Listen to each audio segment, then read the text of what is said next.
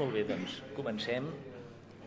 Eh, bé, eh, aquesta, avui és una cloenda d'aquest cicle Geografies del Coneixement amb aquesta taula rodona eh, que intentarem eh, que no sigui, bueno, que sigui prou variada, que ho serà, perquè realment els tres ponents eh, corresponen a tres àrees eh, molt diferenciades Eh, Deixeu-me dir que quan ara fa una mica més d'un any vaig tenir la mala pensada d'oferir-me participar en aquest cicle, mm, poc em pensava que acabaria organitzant una taula rodona eh, amb els ponents que tinc i algun de més. Eh, però bé, no es pot ser bocamoll i he de reconèixer que tampoc ha estat tan desagradable, tot el contrari, encara que hi ha hagut eh, problemes. I el pitjor, el pitjor dels problemes ha sigut eh, que ben bé a ultimíssima hora eh, ens ha fallat un dels ponents, en Pere Condom. Pere Condom ha estat fins fa... Eh, bé, potser encara ho és perquè no han acceptat la dimissió, però eh, director general del Parc Científic i Tecnològic de la Universitat de Girona, eh, precisament ens havia de parlar d'aquesta tipologia d'espai de, del coneixement eh, relativament, vaja, no relativament, força nova, però no ha estat possible. Ell mateix es va esforçar en l'últim moment per trobar algú que el pogués substituir amb un perfil semblant. El, la persona que podia substituir-lo resulta que no l'ha pogut substituir perquè eh, ha marxat aquesta mateixa setmana als Estats Units, de manera que eh, estem amb els tres ponents que, veiem, que veieu a la taula. Eh, a la meva dreta, eh, la Isabel Moll. La Isabel Moll és historiadora, eh, ja heu vist el seu currículum en el, la tramesa que s'ha fet eh, per difondre aquest acte. Eh, és coordinadora del projecte de la història de la ciència a les Illes Balears i n'ha estat editora, juntament amb el Josep Maria Vidal Hernández, malauradament desaparegut, eh, de dos dels volums d'aquesta història eh, ella ens parlarà de la visió dels espais de coneixement que són les universitats des de la perspectiva d'una universitat molt perifèrica i eh, anirà de la perifèria al centre i tornarà... Bueno, ja, ja us explicarà ella, que és la que ho sap. Eh, en Jordi Borja, eh, em penso que el, és conegut de tots, és difícil de definir, sociòleg, urbanista, geògraf, polític, eh, bé, eh, actualment codirector del projecte de gestió de la ciutat eh, a, la, a la UOC i eh, ell eh, ens parlarà de, de la ciutat, la ciutat com a eh, espai de coneixement. I en tercer lloc, eh, en Josep Maria Montserrat, que actualment és el director del Jardí Botànic, i abans ho va ser del, de l'Institut Botànic, eh, és biòleg i eh, de fet eh, de, durant molts anys, durant tots els anys que va ser director de l'Institut Botànic, eh, doncs, en, alguns, en alguns moments en condicions molt difícils eh, va jugar un paper decisiu en la creació del nou Jardí Botànic i del nou Institut Botànic que, que, que s'ha renovat profundament i ara ocupa un edifici nou molt digne. Eh, ell ens parlarà justament d'això, de, de com eh, es crea un espai, es, es crea o es recrea un espai de, de coneixement, en aquest cas doncs, de, de botànica. I també ens parlarà una mica de eh, la seva experiència com eh, eh, en el treball de camp, en el treball de coneixement del territori, no de, no de territoris del coneixement, sinó d'anar al territori per eh, saber-ne coses.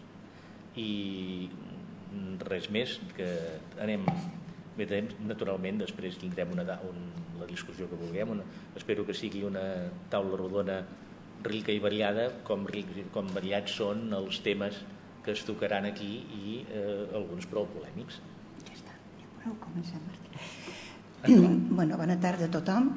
En primer lloc, gràcies a la Josep Maria per haver-me convidat en aquesta taula redona que m'ha fet eh, recuperar eh, una sèrie de treballs, mentalment parlant, eh, de lo que he estat fent, eh, del que he estat fent fins ara.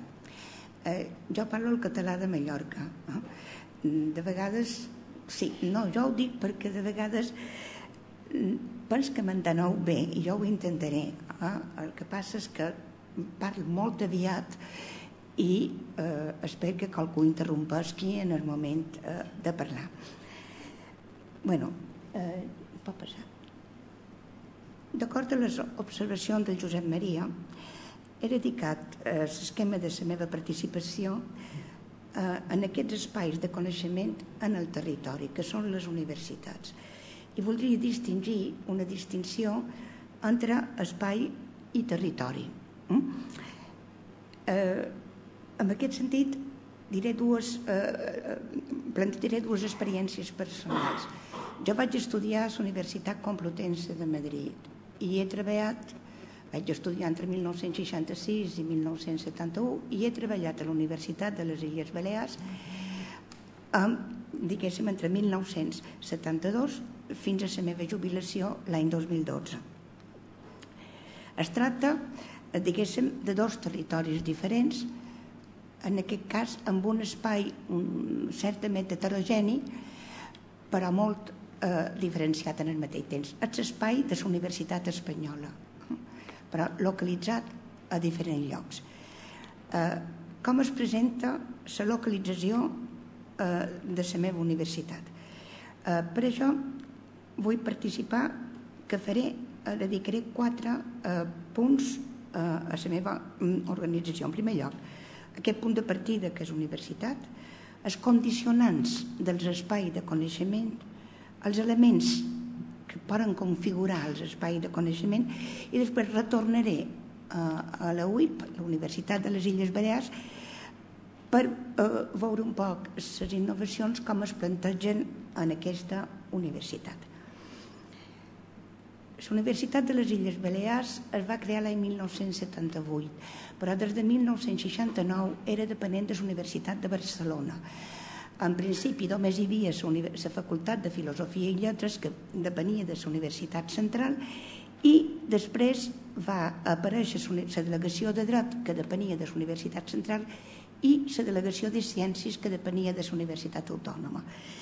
Era, eh, d'alguna manera, una, eh, diguéssim, dispersió d'edificis, dispersió d'estudis, dispersió d'administracions i eh, eh, se van començar a utilitzar edificis antics que no tenien i no reunien les condicions que eren necessari per dur a terme una bona planificació universitària.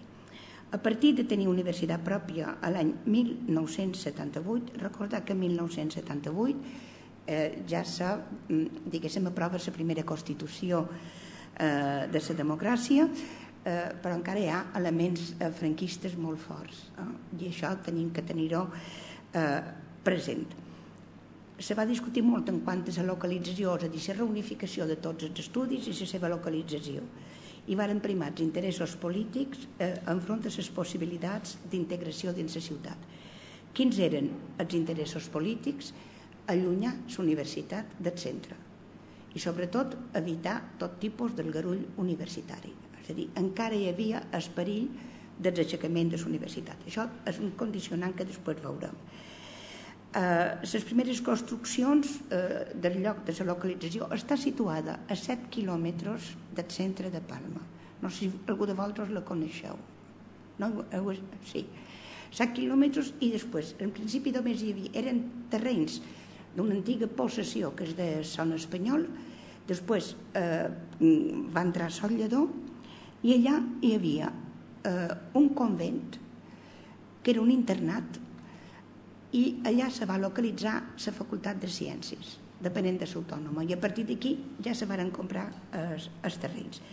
Les primeres construccions, ciències, lletres, era un nou edifici de lletres, i el seu arquitecte, per, perquè tingueu un coneixement un poc de la mentalitat, l'arquitecte no sabia el que eren els apartaments i el que era el seminari.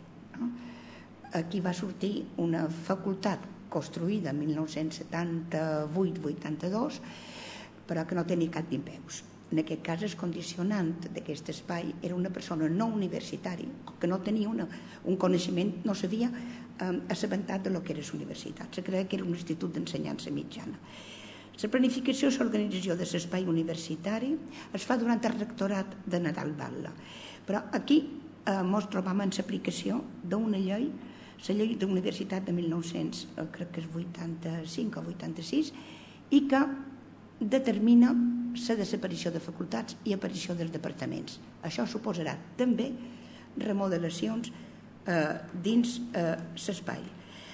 Als principis del eh, segle XX tornen les facultats eh, que integren els estudis. Eh? I, de fet, l'espai dels estudis eh, no correspon a l'edifici on es troben ubicats. Eh, per a mi la distinció entre espais i territori és aquesta territori és el lloc més físic, més, més, més determinant. Els espais són més abstractes i conflueixen en diferents, eh, en diferents aspectes. Eh, algunes mancances d'aquesta universitat, eh, no hi ha una biblioteca universitària centralitzada i eh, hi ha àmbits de socialització, com per exemple els espais exterior d'oci per als alumnes i després els menjadors. És curiós però si un va a la universitat, a la UIP, te quedaria per tot el dia, pràcticament. I aleshores els menjadors són importants i allí ens trobam professors de lletres, de ciències, etc. I allò suposa un pla. De... I després, a partir del pla de Bolònia, ja se tenen que remodelar de moment els espais. Des d'aquesta perspectiva, quins han estat els condicionants que han determinat la construcció d'aquest espai i que poden condicionar, eh, diguéssim, un model d'universitat eh, que jo utilitzaré aquí a partir eh, del segle XIX. En primer lloc, eh, diguéssim, aquest model universitari general que se um, inicia a Alemanya a 1810, bueno, a Prússia a 1810, i que ja comença a ser una universitat a càrrec de l'Estat perquè aleshores eh, pràcticament la majoria de la universitat eren a càrrec dels ajuntaments, de l'Iglosi o bé d'organitzacions eh, privades. Eh, aquí ens trobarem al llarg del segle XIX de la construcció de tres models d'universitat primant l'element germànic. El prusià alemany que s'estendrà per tot l'imperi germànic, inclòs el que és ara Polònia, part de Polònia, el que és ara eh, diguéssim, eh, Àustria, el que és ara eh, Txèquia i eh, Eslovàquia, i també el nord d'Itàlia. Mm? Eh, després ens trobarem, eh, diguéssim, amb un element nou, que és configuració de plan d'estudi. Les disciplines acadèmiques no quedaran configurades fins a final del segle XIX i a partir d'aquest moment ja hi haurà una, un condicionant per construir el plan d'estudis a partir de les disciplines acadèmiques. Eh, hem de tenir present que el model prussià introduirà una gran eh, millora, una gran, un gran canvi, eh, com és la eh, eh, necessitat de departaments i de seminaris per dur a terme la recerca, la qual cosa també condicionarà els espais interiors dels edificis en què se faran eh, en què se farà, és a dir, hi ha una distinció entre docència i recerca i la Universitat Alemana va creixent moltíssim la recerca i es constituirà en el model eh, en el cas de la recerca científica més important eh, diguéssim eh, d'Europa també hi ha un condicionants que són les estructures de poder. Ja hem vist eh, com l'estructura de poder mm, postfranquista condicionar la localització de la nostra universitat. Però està més clar dues, en les dues universitats autònomes més conegudes d'Espanya. La Universitat Autònoma de Madrid, que està a Canto Blanco, i la Universitat Autònoma d'aquí, eh, que també era una espècie de, de lloc desert és a dir, perquè se condiciona precisament per evitar les aglomeracions i eh, els aldarulls. Quins són els elements eh, dels espais de coneixement? Ui, això ja se farà. Condicionants passa allò. Costat, elements. Quins serien els elements? Eh, en primer lloc, la localització en el territori. Ens trobem que fins al 1810 eh, hi ha ciutats universitàries, com dèiem abans amb en, amb en Josep Maria, són ciutats petites, normalment, Coimbra, Salamanca, Bolònia, Pisa, eh, Heidelberg, Göttingen, Uppsala, Oxford, Cambridge, Durham, és a dir, per donar alguns exemples. A partir del segle XIX, eh, es, es, ja dins grans ciutats ja se creen les universitats, encara se creen universitats noves, encara que hi hagués universitats antigues. Posaré dos exemples, la Universitat de Glasgow i la Universitat de Cracòvia. La Universitat de Glasgow construeix, no podem dir un nou campus, una universitat, i el més interessant és el poder de la universitat. Se construeix damunt un pujol amb edificis totalment emblemàtics, una referència una de les pel·lícules de Harry Potter es va filmar dins el claustre de la Universitat eh, de Glasgow. És a dir, el poder de la universitat i el poder de la cultura que queda manifesta com a resultat d'una societat rica i eh, amb expansió. Eh, el cas de Cracòvia. Cracòvia havia una antiquíssima universitat, coneguda com la Universitat Jagielloniana. Aleshores, a partir de la imposició, o d'alguna manera de l'introducció del model eh, germànic, hi ha tota una sèrie de construccions que configuren un espai de la ciutat que és el Ring i allà hi ha, per exemple, els centres universitaris avançats en el seu moment com seran l'Escola de Mines, eh, com seran, vull dir, tota una sèrie de centres que ja demostren com la recerca tindrà una importància dins els estudis eh, universitaris.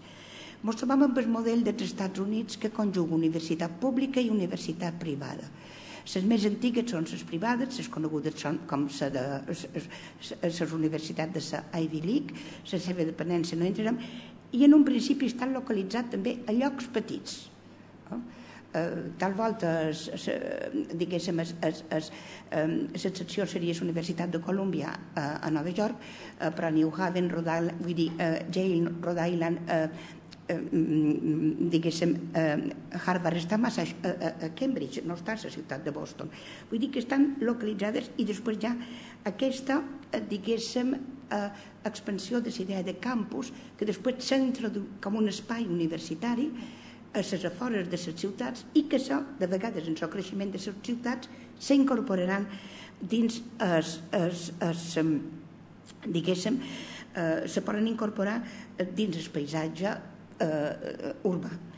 El campus s'incorporarà en l'espai eh, europeu. Ens mm? trobam, per exemple, en dos models distints. Els campus que se comencen a construir a Espanya i els campus que se comencen a construir a Anglaterra. Hem de tenir present que a Anglaterra el sistema universitari fins a la segona meitat del segle XIX està constituït per tres universitats, Oxford, Cambridge i Durham, que està situat en el nord les grans universitats britàniques d'aquest període seran les universitats de Glasgow i la Universitat d'Edimburgo, la Universitat de St. Andrews, és a dir, universitats escoceses.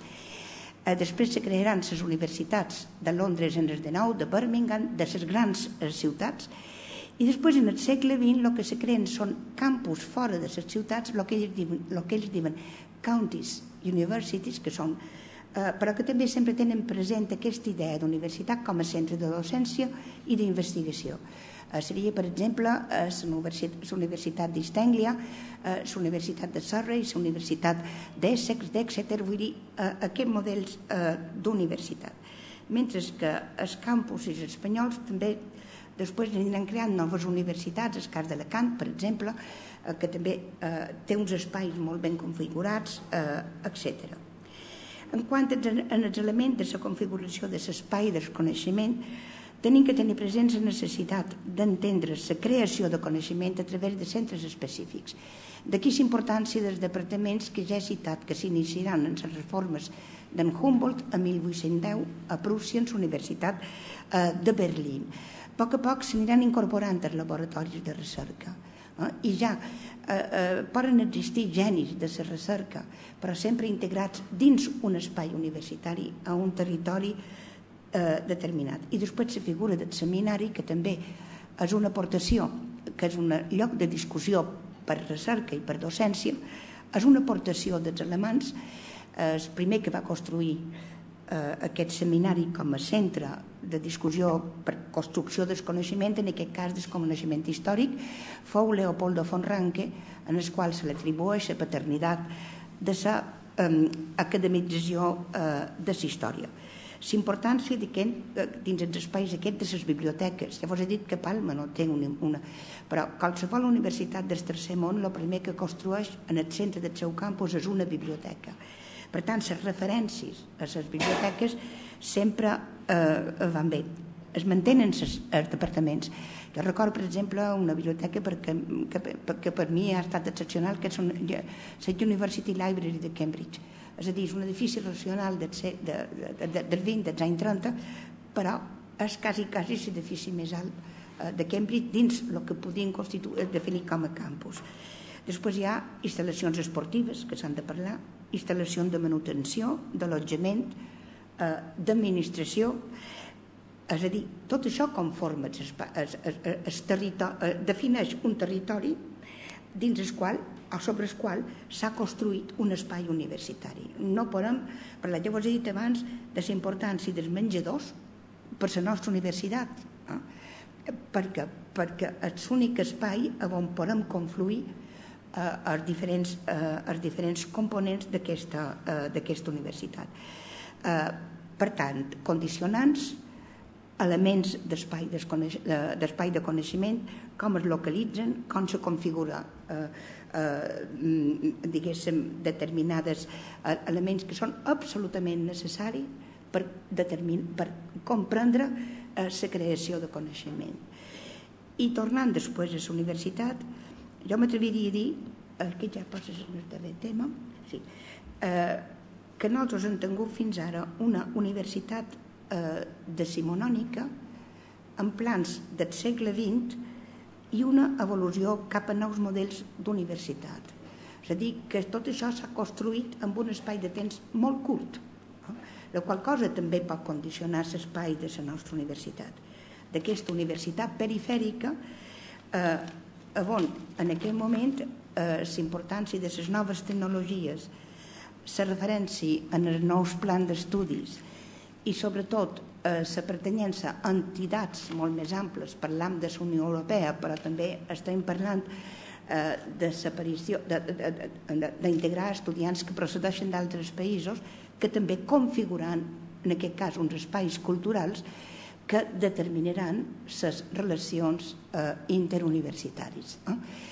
I amb aquí acab eh, la meva intervenció. Moltes gràcies, Isabel. Eh, Ara té la paraula en Jordi Borja. Hola, bona tarda. En primer lloc, eh, cal precisar que, com ja ho ha insinuat Josep Maria Camarassa, que com tinc una formació bastant variada, no? És dir, i, i ja potser té algun sentit el que hagi anat canviant. Jo vaig estudiar dret aquí a Barcelona i, i després doncs, per raons externes eh, doncs vaig, eh, vaig, eh, vaig marxar a París i, i a París vaig estudiar Sociologia.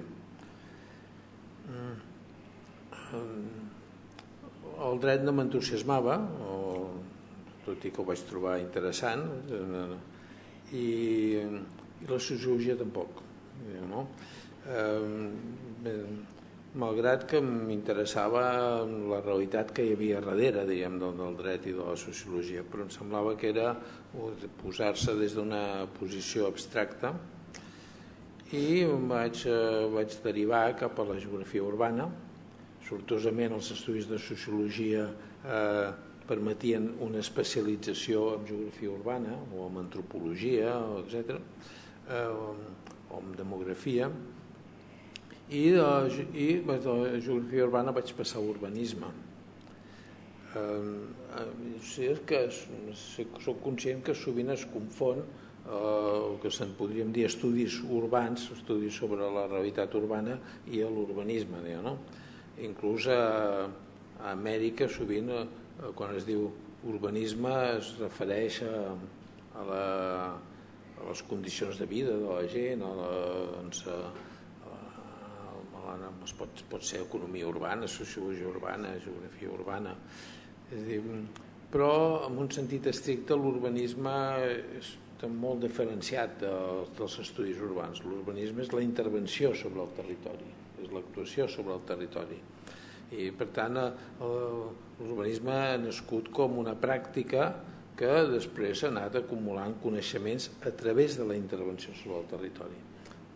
Exagerant es podria dir que primer hi ha la intervenció i després hi ha la reflexió. No, no. I de l'urbanisme, l'urbanisme ha agafat tal amplitud que sovint l'urbanisme ja no és només la ordenació doncs, de, de l'espai, eh, sinó que intervenen ja l'urbanisme és la base del conjunt de polítiques públiques perquè les polítiques públiques s'han de, de fer en un marc físic i legal que és eh, doncs, el que permet fer les polítiques concretes d'habitatge, d'ensenyament, d'organització dels transports, etc. No? Amb això no vull dir que, que seria el primer punt que eh, per, per història personal eh, jo sempre, he barrejat el coneixement amb la intervenció sobre la realitat que, que, que, que s'estudia. I inclús diria que sovint i mm, primer ha estat la pràctica i després ha estat la, la reflexió. Mm. per exemple quan faig una conferència eh, les, les vegades que la, la, la he preparat i l'he escrit ha sigut un fracàs total, diria, no? O sigui, no, perquè eh, doncs, sempre t'has d'adaptar a un, unes condicions de, del temps, de l'ambient, la, de, de com reacciona el públic, etc. I per tant, eh, sovint portava una conferència escrita eh, que, no fet, que no he fet servir, un, un rato abans eh, feia un guió diferent, que tampoc el feia servir, i al final acabava explicant una, cosa, una tercera cosa, que és la que em servia per escriure després, diríem, no? Eh, bueno, és... Eh, i així i, i amb els temes urbans m'ha passat el mateix vaig estudiar sí, vaig tenir un, un màster de, de, de, de geografia urbana i, i urba, no, un, un uh, estudis de postgrau de geografia urbana, un màster d'urbanisme i un curs de, un curs de doctorat, diguem, no? El curs de doctorat, o, sí, sí, o, o Pierre Georges, que era el, el gran gran personalitat doncs, eh, em, eh, em va dir que, que endavant, que estupendo, que ara només em faltava redactar una tesi. Això va ser l'any 67 i la tesi la vaig presentar el 2012. O sigui que vaig, vaig haver d'acumular molta pràctica i després escriure eh, eh, doncs, entre, perquè si no m'equivoco entre el 67 són 33 i 12 són, 40, són 45 anys o sigui vaig passar 45 anys acumulant eh, experiències diguem abans de redactar una tesis eh, a la Universitat de Barcelona. Aleshores, eh, voldria doncs, veure una mica explicar-vos molt ràpidament com he anat coneixent la ciutat. Eh, molt, molt ràpidament, que tenim 20 minuts o... Un quart, sí. Ah, bueno, ara un quart d'hora perquè n'he posat 5, no? molt bé. Eh, doncs, eh, primer que eh, doncs, vaig arribar a Barcelona a finals del 68 i, i no, no sí, vaig començar a donar classes a la universitat eh, i, eh, però em van, em van avisar d'un centre que jo només coneixia d'oïda eh, després d'haver estat set anys fora eh, que era Rosa Sensat. Rosa Sensat, eh, la Marta Mata i el seu i l'equip que estava amb ella em van dir voldríem ensenyar, voldríem ensenyar a la ciutat als, als nens. I, eh, i aquí hi ha aquest que em va presentar quatre o cinc persones molt, molt interessants per cert pedagogs, mestres mm, que, eh, que volien que jo els fes un seminari al llarg d'uns mesos eh, per, eh, per, i ells llavors redactarien materials per ensenyar, per ensenyar la ciutat als nens.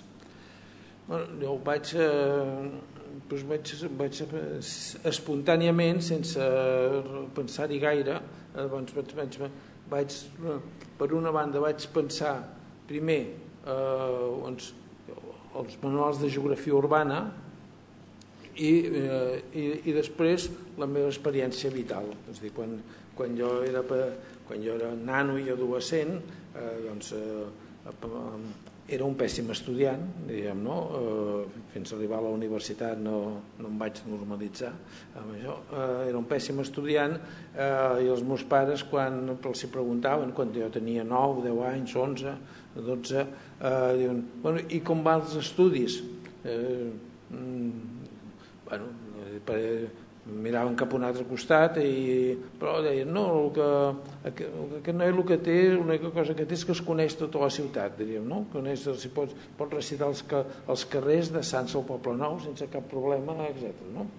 Eh, bueno, doncs vaig fer això vaig fer això, vaig dir, bueno, com, com vaig descobrir la ciutat i què, i què he anat descobrint he anat descobrint primer el carrer que és molt important al carrer, després, doncs, el, després del carrer, la, la, la trama, etc. Després va distingir que un barri és diferent d'un altre, que el centre és diferent de la perifèria, que hi ha barris benestants i altres que no.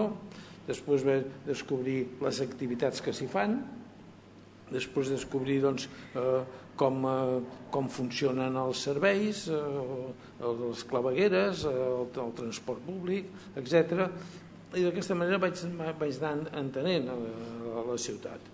Eh, tant, tant és així que quan, uns bastants anys després, ja als anys 90, que, em van que no, hi havia un programa internacional que es deia La Ciutat Educadora, que encara existeix, em sembla, i em, i em van dir, escolta, de, de, des del punt de vista de les ciències socials, com, eh, què, què és la ciutat, doncs vaig explicar això mateix, diríem, no? com, com, les, com es va descobrint eh, Eh, com deia el Robert Mussil, la ciutat es coneix amb els peus, dieu, no? Eh, des, eh, això m'ha portat que l'activitat professional que eh, tant a l'hora de fer informes o, o plans, etc., com a l'hora d'explicar coses a les classes, eh, doncs només sóc capaç d'explicar eh, casos, ciutats, problemàtiques específiques d'una ciutat o una altra, quan hi he estat físicament. Mai, sabia, mai no sabria parlar-vos d'una ciutat en què no hi hagi estat. I, per la, I si només hi he estat així de passada, me'n parlaré poc. Quan, quan em sento còmode parlant d'una ciutat és quan he fet alguna cosa allà he fet alguna cosa allà, eh, he fet algun assessorament, algun projecte, etc. És a dir, és eh, aprenent dels casos concrets que he anat, eh, he anat doncs, acumulant coneixements. I he, i he après molt més de, de l'activitat en els barris fent eh, agitació i propaganda, fent eh, activitat política, fent eh, fent eh, eh, o contribuint, millor dit, a elaborar reivindicacions, eh, activitats, etc. I, i descobert tres coses. -no. Primer, doncs, que, que la realitat, evidentment, va més enllà del que es veu a la ciutat i el que, i el, i el que has de veure és com viu la gent i com la gent eh, doncs, Eh, s'adapta millor o pitjor a les condicions eh, de l'hàbitat, de les condicions doncs, de, de la seva vida en la ciutat, de les hores de transport, eh, on va comprar, etc. L'altra cosa que he après és de que eh, els, els experts, els professors, etc., entenen molt poc, entenen molt poc la ciutat eh, i els polítics encara més. És, eh, Eh, no dic els regidors o, o alcaldes, que a vegades sí, que a vegades sí, que, que tenen així, però els polítics pensen en, en el millor dels casos en termes d'estat, i l'Estat és una entitat abstracta i la ciutat és una entitat molt concreta, molt material, molt sensorial, fins i tot, etc. No?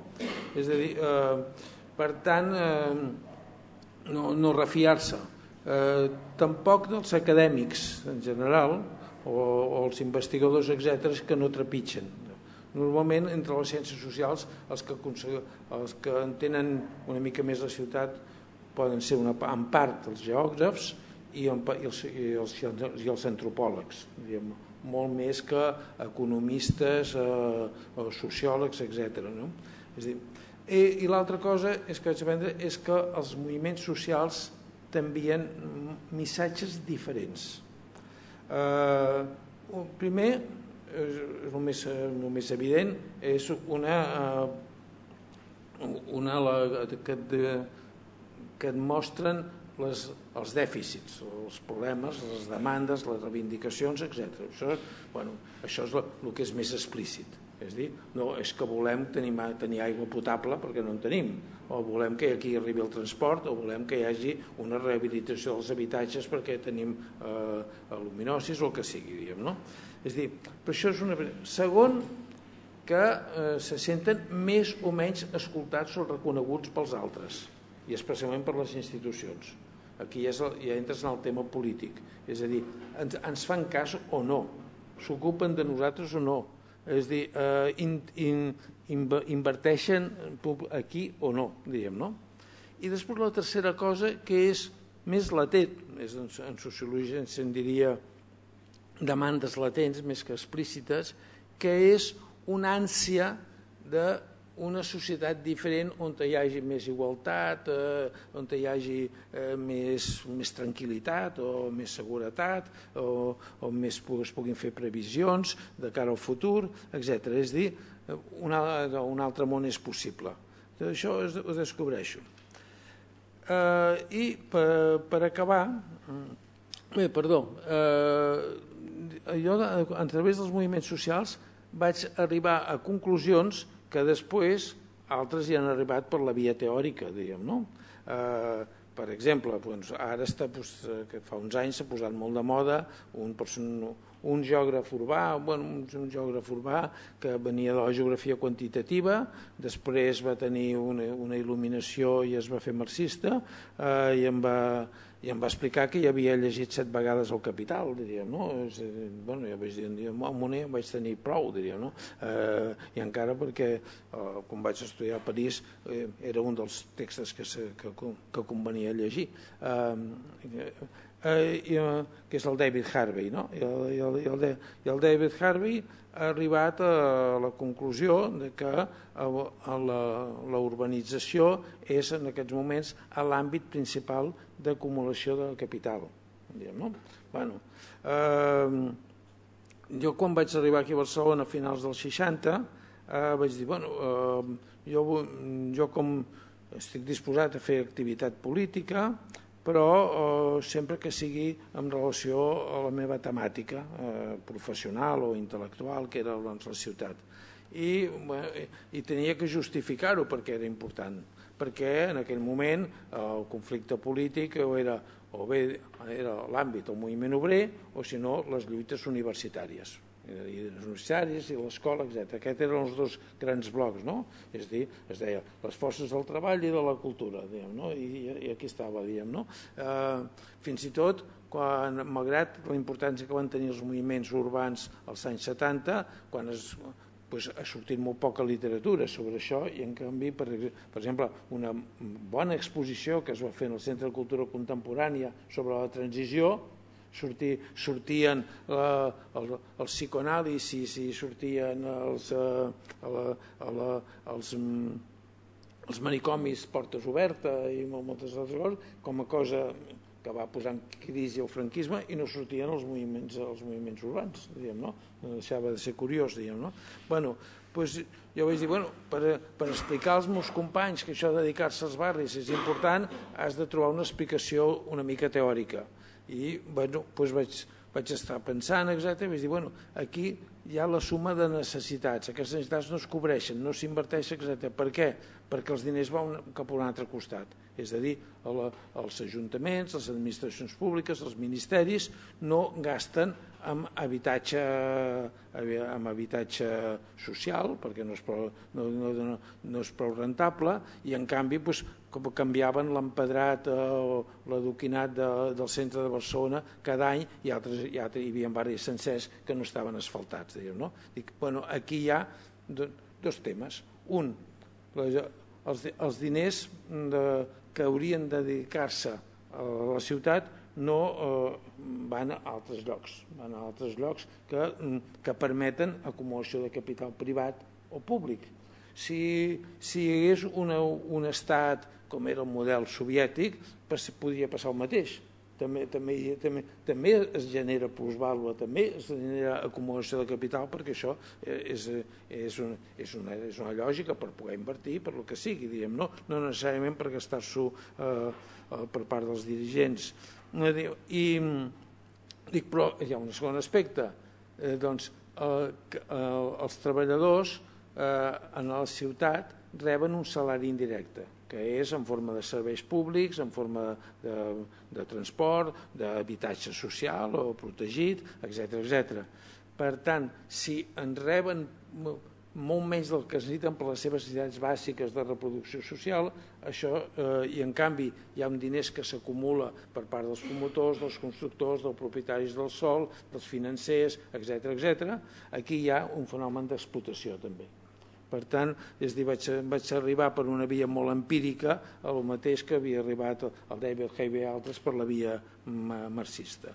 I per últim, eh, i, i no m'extem amb això, és que mm, també, és, també, eh, també això ho he aplicat al coneixement de les institucions.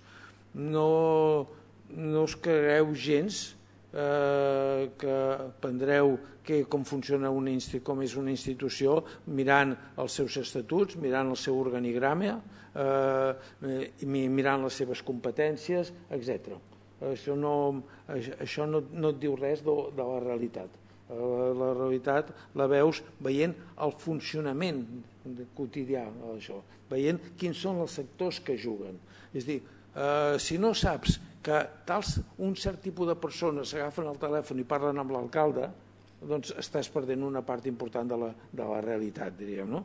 Eh, això tant és així que quan ja estava a l'Ajuntament i amb va haver uns anys que em vaig fer càrrec de, de la direcció de l'àrea metropolitana, eh, parlo de, de començaments dels 80, de mitjans dels 80, eh, el, vaig, vaig anar a fer un, un curs, un, un curset a la Universitat Autònoma de Barcelona i eh, sobre el tema metropolità. I aleshores em van dir, oh, és que el, a les classes que fem un curs sobre l'àrea metropolitana i portem ja diversos mesos i encara ens estan explicant model, models teòrics de, de Cristaller, de, etc, d'aquests de, de, de, dels, de les, dels fluxes que es donen entre ciutats, etc. Diu, però encara no hem, no hem entrat a veure com, com és l'àrea metropolitana d'aquí. Bueno, és el que els vaig explicar jo, però ho vaig explicar perquè estava dintre, perquè jo no vaig descobrir exactament què era allò fins que vaig estar dintre i ho vaig anar descobrint. Bueno, i vol dir que amb el temps s'acumula eh, la memòria, diuen que l'autografia de cada persona és allò que recorda, diem, no? Bueno, en tot cas, el coneixement que has adquirit és, és un conjunt de, de, la, de, de moments, de moment, de, amb abstracte diríem de temps i d'espai, diríem, concretant-ho, de, de moments i de llocs. És dir, I per tant, si en aquests moments jo tinc que fer una classe, una exposició o un article, doncs eh, el primer que faig és recuperar alguns moments i alguns llocs que em semblen pertinents pel tema. Moltes gràcies. Bé, moltes gràcies, Jordi. Eh, ara té la paraula en Josep Maria Montserrat.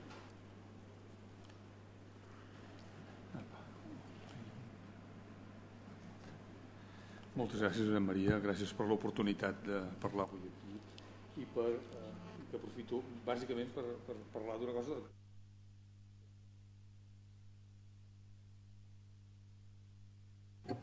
el procés que hem seguit per la eh, construcció del nou jardí botànic és un procés que ha durat molts anys, perquè de fet va començar l'any 86 i, i, i vam acabar-lo encara no l'hem acabat, de fet, i, i jo diria que, que malament el dia que l'acabem del tot, eh, perquè, bueno, perquè és un, és un sistema molt dinàmic. Eh, intentaré ser molt breu amb quatre imatges que porto i després intentaré parlar una mica, o potser, potser començaria al revés, parlaria primer de, de l'estudi de les plantes com almenys durant tot el segle XX i des de centres com el de l'Institut Botànic de Barcelona, Eh, eh, que havia sigut fundat a principis del segle XX per, per en Pius Foniquer, i, o bé el Jardí Botànic de Madrid o tants altres centres que han estudiat bàsicament la distribució de les plantes i han contribuït a generalitzar una idea de que les plantes ens informen sobre l'indret on viuen. És a dir, com que les plantes no es mouen, les plantes d'alguna manera tenen memòria o, o les poblacions de les plantes acumulen l'experiència d'haver-se mantingut en un espai concret.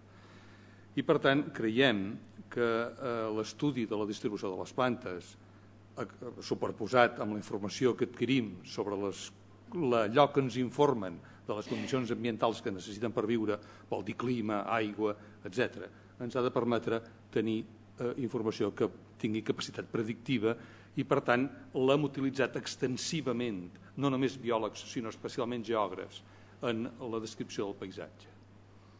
Avui comencem a dubtar molt d'aquestes premisses i jo diria, i això és només una introducció personal, que ens hauríem de carregar bona part dels fonaments que avui s'utilitzen en la teoria del paisatge, sobretot en la idea de que els boscos són la, la condició estable del paisatge.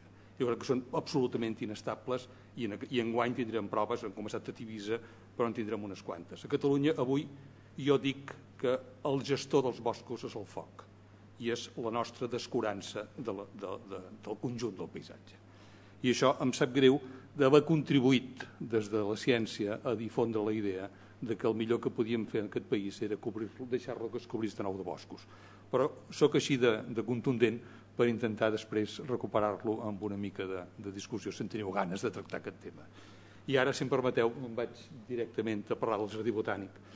Eh, aquí teniu una, la, l'entrada de l'actual jardí, eh, voldríem canviar-la, ens vam equivocar fent aquesta entrada, però això ho saps a vegades quan tu tens fet, no, no, no parlaré només d'errors, crec que hi ha eh, alguns encerts, però eh, eh, brevíssimament per què és un jardí botànic, perquè van néixer, van eh, inicialment alguns jardins botànics van servir per acondicionar algunes espècies que avui representen el PIB de països sencers del tercer món. Per exemple, la part més important de producció d'un país com Malaícia eh, ve del cautxú. El cautxú va arribar a Malaícia a través d'un jardí botànic que els anglesos van construir a Ceilan. Eh, al seu torn van haver d'hibridar cinc espècies diferents d'EBEA fins a aconseguir aclimatar el cultiu les espècies salvatges portades directament d'Amèrica i finalment el recordeu a la Segona Guerra Mundial un dels objectius militars dels japonesos era mm, controlar tota la producció de cautxú del món, perquè precisament encara avui la producció de cautxú, que és essencial per l'economia mundial, està focalitzada a Malàisia, encara que les plantes són originàries d'Amèrica. Eh, coses semblants han passat, no potser de la mateixa escala i del mateix dramatisme, ha passat amb el, amb el sucre, amb el sucre potser encara va ser pitjor, ja no ens en recordem, però, però França va, mm, a través de la millora genètica, va aconseguir-se fer amb el mercat del sucre, que era un, un mercat dominat per les colònies holandeses i espanyoles, bàsicament, i angleses que tenien territoris d'ultramar. Però al moment que des d'una planta europea es va poder produir sucre molt més barat del que venia de les plantes americanes, eh, això és l'origen de la pèrdua de Cuba, entre altres coses. Eh? I per tant, és, és també treball de jardí botànic. Eh, utilitzo exemples potser una mica dramàtics, però, però són contundents eh, eh, eh, i crec que val la pena utilitzar-los perquè sovint hi ha la idea de que els jardins botànics no serveixen per res. No, no, absolutament. Han tingut, han tingut aplicacions d'enorme importància estratègica pel conjunt de la humanitat. Que dir-ne del tabac, de la quina o de tantes altres plantes que han sigut fonamentals en, en tota la, la, el comerç de la, de la, de la pebre en el, el, el renaixement, etcètera les plantes medicinals ha sigut l'altra gran finalitat dels jardins botànics. Aquí porto un exemple, diguem, nostrat, que seria la imatge que encara ens queda avui del que va ser el primer jardí botànic que va existir. Eh, el primer no, però el primer jardí botànic científic que va existir a Catalunya, que va ser fundat per la família Salvador, que els teniu aquí representats, i va estar Sant Joan d'Espí. Encara, encara hi ha la casa, encara hi ha il·lustracions de l'època i encara per Google podeu veure la planta del jardí botànic, encara existeix. No hi ha les plantes, però es veu la distribució. Això són quatre imatges que representen els inicis i el punt de partida que d'alguna manera en, diguem, ens vam trobar la nostra generació amb l'Institut Botànic de Barcelona, és l'edifici que veieu a dalt, al costat una postal de l'exposició del 29 que ensenya com era la granja dels ramaders que, era, que es va transformar en la masia actual del Jardí Botànic Històric. Aquest jardí, el jardí el va començar a construir en font a l'any 1930 i es va obrir al públic mm, després de la guerra. Però va tenir una història força accidentada, moltes etapes d'estar tancat, altres obert, però sempre amb, amb, amb més pena que glòria. Eh, una de les, de les limitacions importants que teníem en el moment d'assumir la direcció del Jardí Botànic i, per tant, en el moment de plantejar la construcció d'un nou Jardí Botànic, era que a l'Institut Botànic en aquell moment no hi havia un projecte vertebrador de tot el, potencial de, en aquell moment del jardí del, i de l'Institut i el que previsiblement havia de venir en els anys immediats. Eh, aquí poso dos exemples. El Fora dels Països Catalans era un treball que, que vertebrava l'Institut, però era un treball molt orientat a la capacitat enorme de, del meu director, Oriol de Bolós, però era un treball més personal, no, no era un treball del conjunt de l'Institut, com eh, ho va ser en el principi Flora Ibèrica. Flora Ibèrica encara no s'ha acabat, però és una obra que, en la qual eh, eh, ha servit per vertebrar l'activitat del Jardí Botànic de Madrid. Nosaltres, eh, acabada la Fora dels Països Catalans, vam intentar el mateix però al Marroc, però naturalment les condicions són no són iguals. Hem treballat molts anys al Marroc, però la continuïtat de la nostra presència allí no, no té perquè no serà ni molt menys ni tindrà la transcendència de futur que tenen aquests altres dos treballs a casa nostra. Aleshores vam plantejar la construcció d'un jardí botànic a partir d'una idea central i era que Barcelona tenia unes condicionants de clima particulars, eh, molt singulars des del punt de vista biològic, ho compartim amb altres cinc regions del món, tenim el mateix clima però flores completament distintes. Per tant, potencialment podem cultivar a Barcelona sense haver de construir cap mena d'estructura aproximadament el 20% de tota la flora mundial. Per tant, és un, és un actiu prou potent com per arriscar-nos al que representa intentar aclimatar plantes que viuen bé en les condicions climàtiques, però no en la tipologia de sòl que té Montjuïc, etc. En el desenvolupament del projecte, eh, un projecte complicat, eh, vam aprofitar eh, no, naturalment això no és pas mèrit meu ni moltíssim menys, és mèrit de moltíssimes persones i n'hi ha moltes que amb, amb tota la raó es poden atribuir el mèrit d'haver contribuït a que el jardí botànic fos una realitat però una de les primeres iniciatives que es van tenir va ser la d'en Pere Duran, que per, designat per l'alcalde Maragall va reunir una comissió de suport de distints ciutadans eh, eh, que van ajudar a donar forma en el Jardí Botànic. Eh, simultàniament es va convocar un concurs d'idees per part de, de l'Ajuntament de Barcelona, es va acabar resoldre amb un equip d'arquitectes, que l'equip d'en Carles Ferreter, i va ser, va ser estratègic publicar aquest petit opuscle amb diverses llengües. Això ens va ajudar moltíssim en el procés, en el desenvolupament d'un procés que ha durat prop de 20 anys i tal vegada si avui hi ha alguna experiència positiva per qualsevol altre projecte de futur que es vulgui fer amb aquesta perspectiva a llarg termini és la necessitat de publicar de seguida el, el, el, els propòsits, que això ho pugui ser compartit pel màxim nombre possible de persones perquè mai sabreu qui us ajudarà en un procés com aquest. Bé, aquí és, és només per mostrar que la idea del concurs, el, del concurs d'idees públiques es va fer per tenir un projecte ja anava al voltant d'aquesta idea central de reunir a Barcelona plantes amb procedents de climes mediterranis i en el procés constructiu eh, hi va haver unes quantes coses crítiques. Primer es va signar un conveni amb Bicona que va permetre disposar de diners. Eh, el, els Jocs Olímpics naturalment van, van absorbir recursos del municipi i en van deixar pocs recursos per a altres projectes que no fossin estrictament olímpics, que era un dels casos eren nosaltres. I podem dir avui que els Jocs Olímpics van fer possible iniciar el Jardí Botànic, però ben certament no, no van permetre ni molt menys acabar-lo. Però eh, aquest conveni amb Icona va permetre alguna cosa essencial, com va ser eh, modificar part parcialment, però, però en profunditat, la, categoria, la tipologia de sols de Montjuïc. Montjuïc té uns sols molt dolents des de fa molt de temps. Per tant, vam poder fer una inversió molt important que ens ha permès que avui és la, la causa de que les plantes s'hi visquin bé. És que va un temps que vam ser capaços, l'any 91, de comprar bastant, bastant sauló. Després vam fer tota una sèrie d'iniciatives que van implicar sectors diferents de la societat, els, tots els gremis de, de flor tallada, de planta ornamental, de jardineria, etc., es van implicar en el procés i es va constituir una associació d'amics del Jardí Botànic que sovint des de l'Ajuntament se'ls feia la broma que eren amics d'alguna cosa que no existia, perquè naturalment eren amics d'un jardí botànic que encara no hi era. No? Eh, però eh, aquesta associació també va ser decisiva en tot aquest procés i finalment el Consell Superior d'Investigacions Científiques es va venir l'any 98 a canviar la relació amb l'Ajuntament de Barcelona pel que fa a l'Institut Botànic i això va permetre construir un nou centre de recerca que és el que avui corona tot el projecte del Jardí Botànic a la part superior. Aquí veiem algunes imatges d'aquest nou institut que ha permès resoldre problemes que portàvem d'antic, per exemple, els herbaris, els insectes els menjaven a les antigues instal·lacions. Aquí, en canvi, des d'aquí som, jo no he vist pas cap paràsit de l'herbari. Eh, la biblioteca té un, reuneix condicions òptimes de treball i, a més a més, disposem de laboratoris, eh, etc.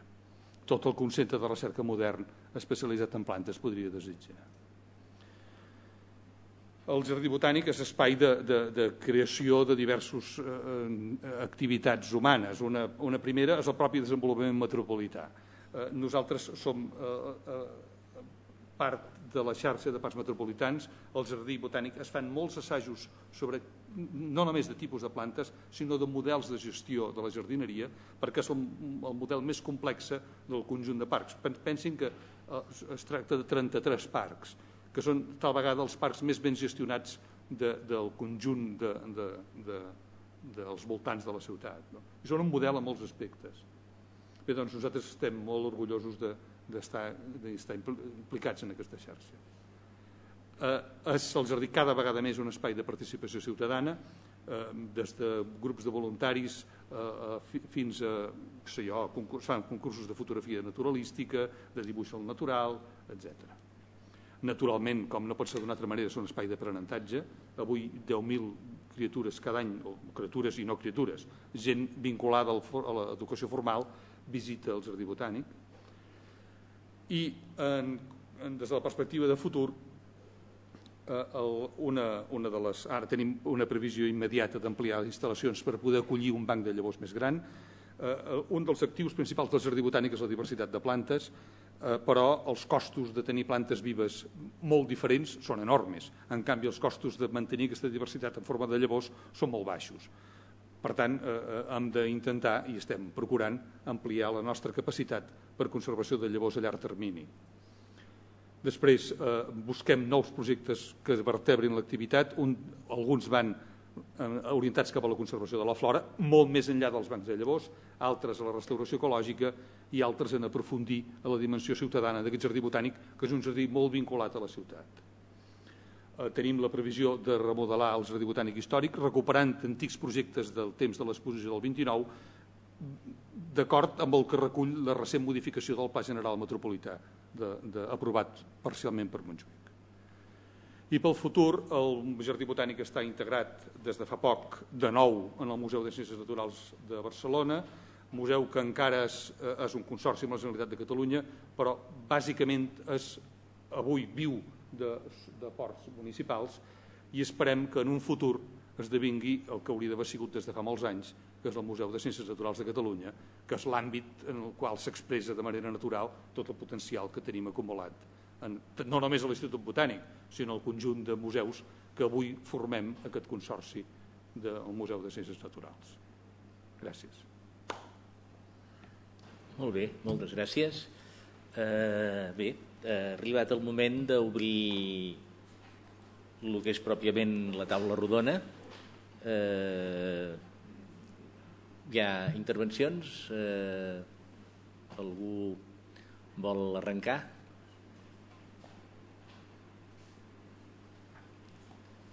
No hi ha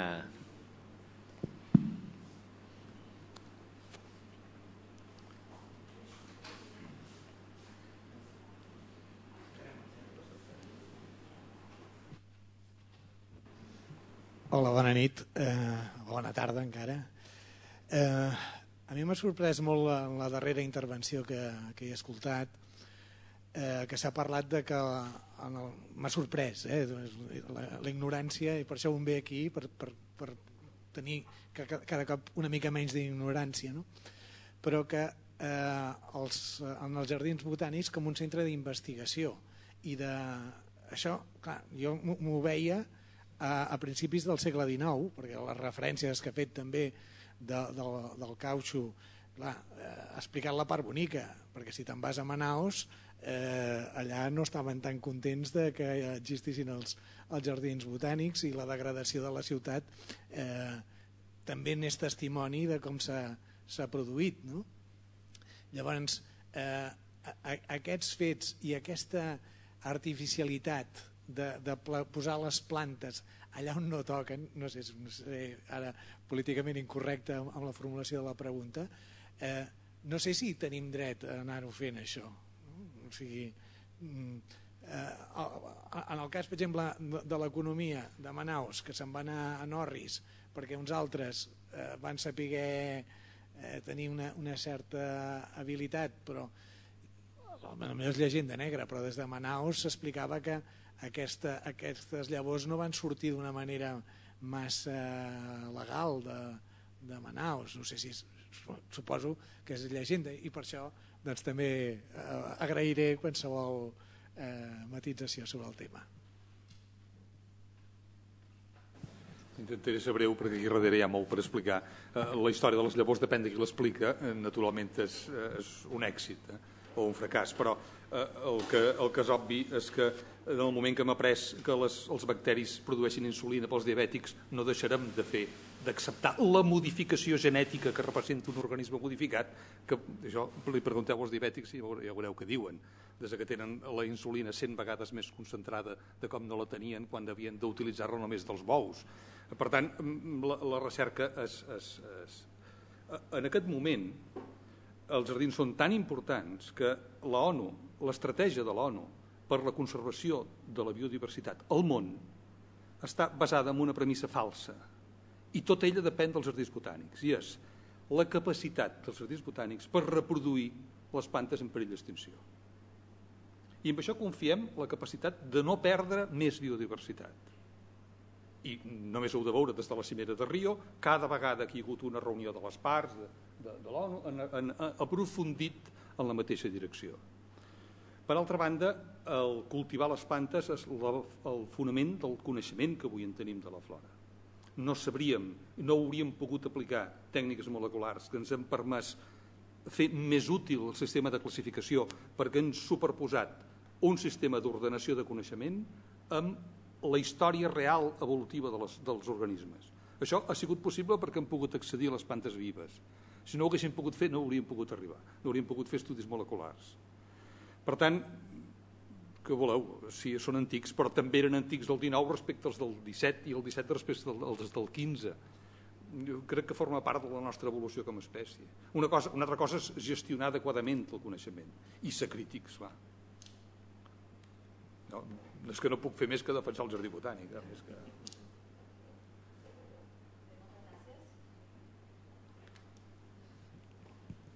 Ara, jo tinc una pregunta per la Isabel Moll Uh, uh, bueno, ens ha explicat aquests diferents models d'universitat, unes uh, fora del centre, de la, allunyades del centre de la ciutat, unes dintre de la ciutat, uh, diferents models de llocs on es crea coneixement a les universitats. I jo em, preocupava, em preguntava si s'havia plantejat si aquest coneixement que es crea dintre aquestes universitats depèn o és diferent en funció del lloc on està.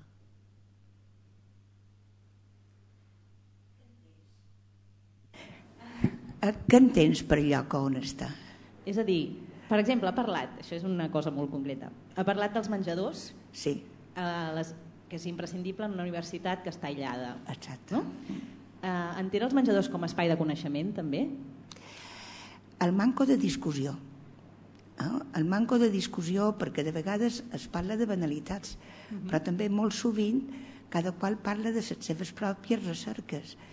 I aleshores això ajuda un poc a entendre eh, dins una universitat petita com la nostra el que suposa el que estan fent altres departaments per al conjunt de la universitat.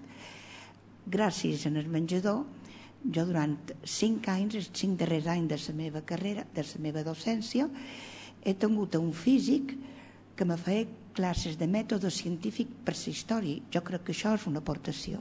No? Jo, jo I... també. Jo, jo penso que són espais de coneixement. Aleshores sí. penso, una universitat que té aquest espai i una altra que no el té, generen un coneixement diferent? Jo crec que no poden generar un coneixement diferent. Eh? El que passa és mm, i això és una variable mm, no, no fonamental dins el fenomen de generació de coneixement. Jo penso que aquí s'ha parlat d'un parell de coses. Per exemple, el tema dels recursos. Eh? En Jordi ha parlat de, la importància de tenir en compte els recursos que se dediquen a determinats. Eh, nosaltres, la nostra universitat, eh, procedeix de recursos públics. Essent fins ara una societat rica, no hi ha hagut elements dins la societat que per prestigi hagin volgut adjudicar recursos a la universitat. Això què significa? Que el coneixement per a aquesta gent no té cap sentit, o té molt poc sentit. Han finançat una escola de turisme i, de fet, els estudis turístics s'estan desenvolupant allà. Jo no crec eh, que l'existència de, de, de determinats... Mm, vull dir, Pens que, en aquest cas, els menjadors com a espais de coneixement eh, poden funcionar. I jo les he detectat com una experiència pròpia. Eh, ara bé, hi ha universitats on, eh, situades a les ciutats, molt disperses dins les ciutats, que no tenen aquest tipus de possibilitats, però en tenen d'altres, com per exemple la convocatòria de seminaris interuniversitaris que permeten, en aquest cas dins les mateixes branques, generar coneixement. És un altre espai de socialització. No sé si t'he contestat. Sí. Bueno, no, no te veig molt convençuda.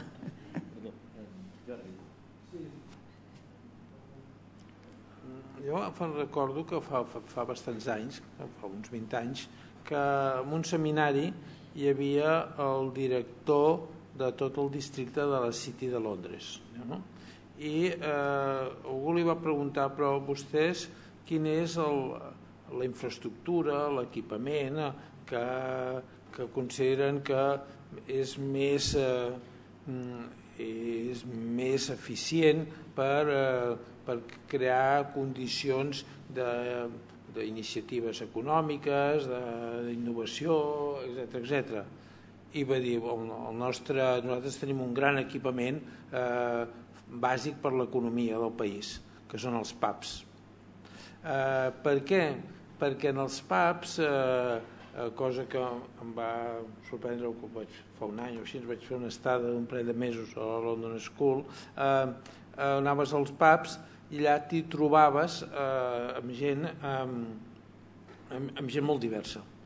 I, eh, i diuen la, la creativitat eh, en gran part depèn de, de trobades no previsibles, no programades i entre gent diferent no? i a vegades per, per, doncs, parlant amb un, no sé, amb, amb, una, amb, una persona, amb un electricista et pot donar un, unes idees que no et donarà mai un investigador, diríem, no? Aquesta, té, té una altra mirada sobre la realitat, diríem, no?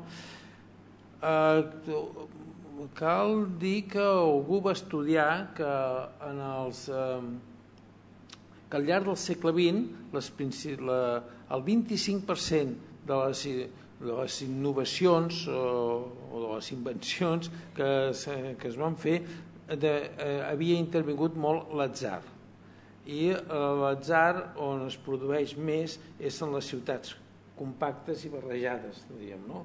en, aquest, en aquest sentit és dir que per tant els, eh, aquests, eh, les trobades no programades eh, són les que, que, són cas dels menjadors. Sí, no? El cas dels menjadors, si, va, si va, si jo, si a, la, jo a la UOC, és on estic, si em quedo a dinar allà, és dir, parlo amb gent que no hi parlaria mai estant en el despatx o estant amb, amb la gent del meu departament, diguem, no?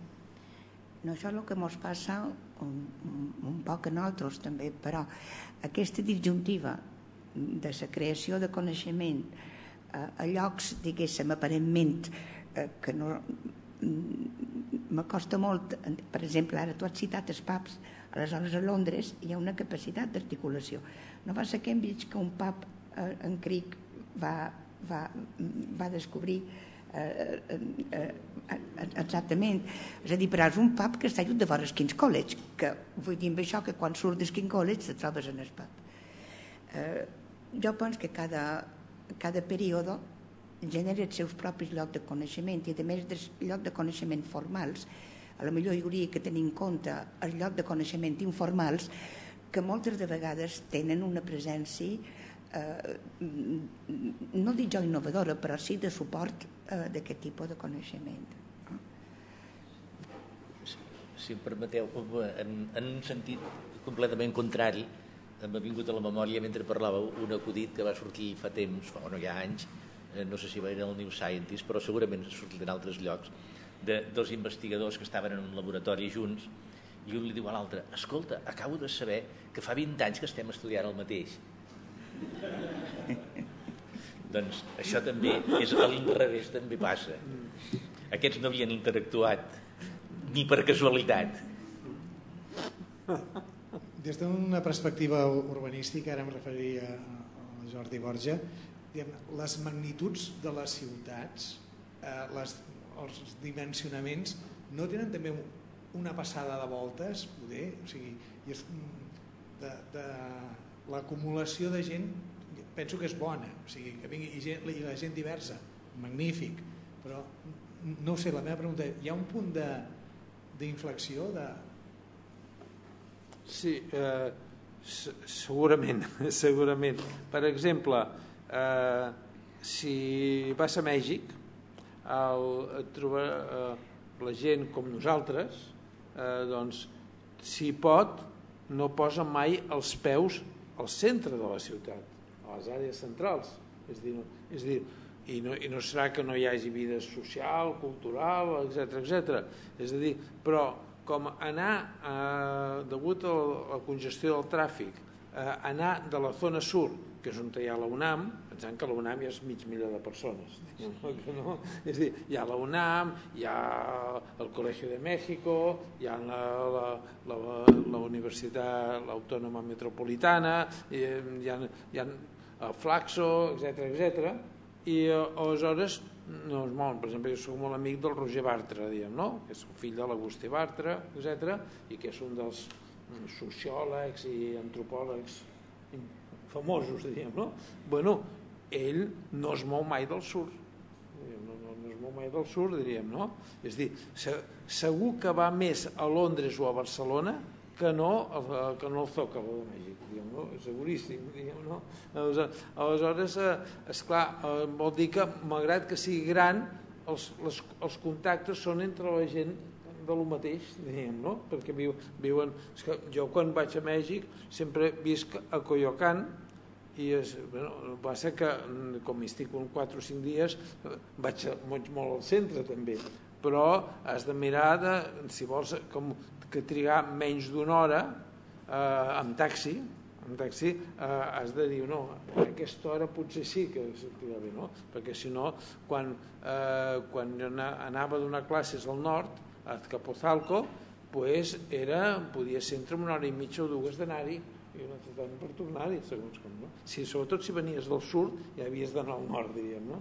És dir, que ja, eh, això, això sí que la, el, el, la qüestió no és tant el tamany, sinó l'organització.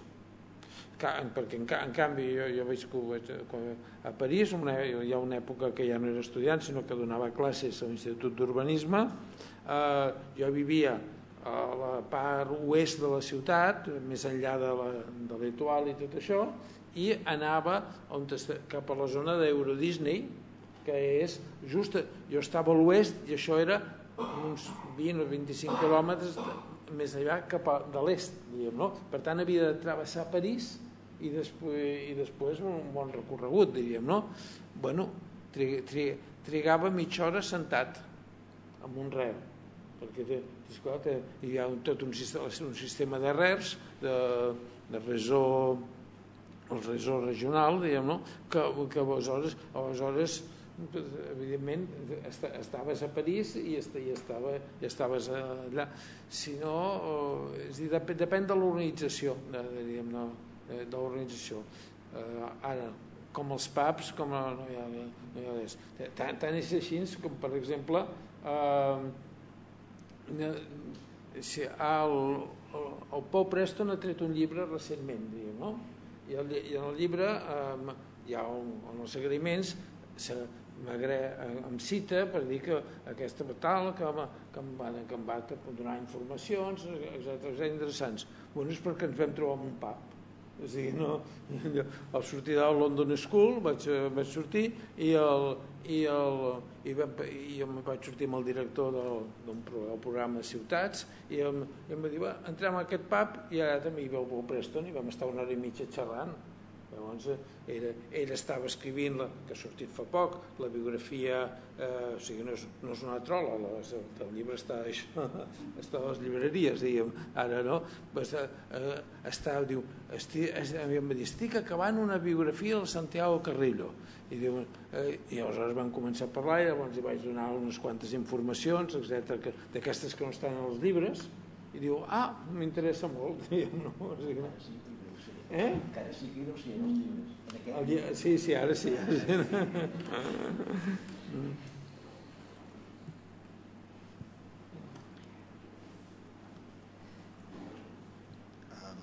a veure, de, tall anecdòtic seguint amb els PAPs.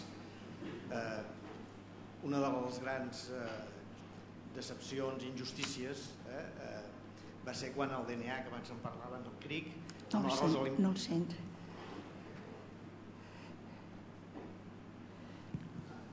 Ara sí, no? Ara? Sí. Dic que parlant del, del CRIC i la, un dels grans drames eh, d'injustícies històriques al voltant d'aquest tema és el problema de la Rosalind Franklin. La Rosalind Franklin no podia anar als menjadors per ser dona i probablement part de la dificultat d'inserció en el grup a part d'altres problemes de sexisme i tal és que no podia anar a menjar amb els investigadors perquè era dona sembla Bueno, aquí també s'introdueix un altre element que és l'element elitista de les universitats i el tema de les jerarquies dins les mateixes universitats. Per exemple, Cambridge no és el mateix ser fellow del King's College o del Trinity que del Wilson College, que són dos completament diferents.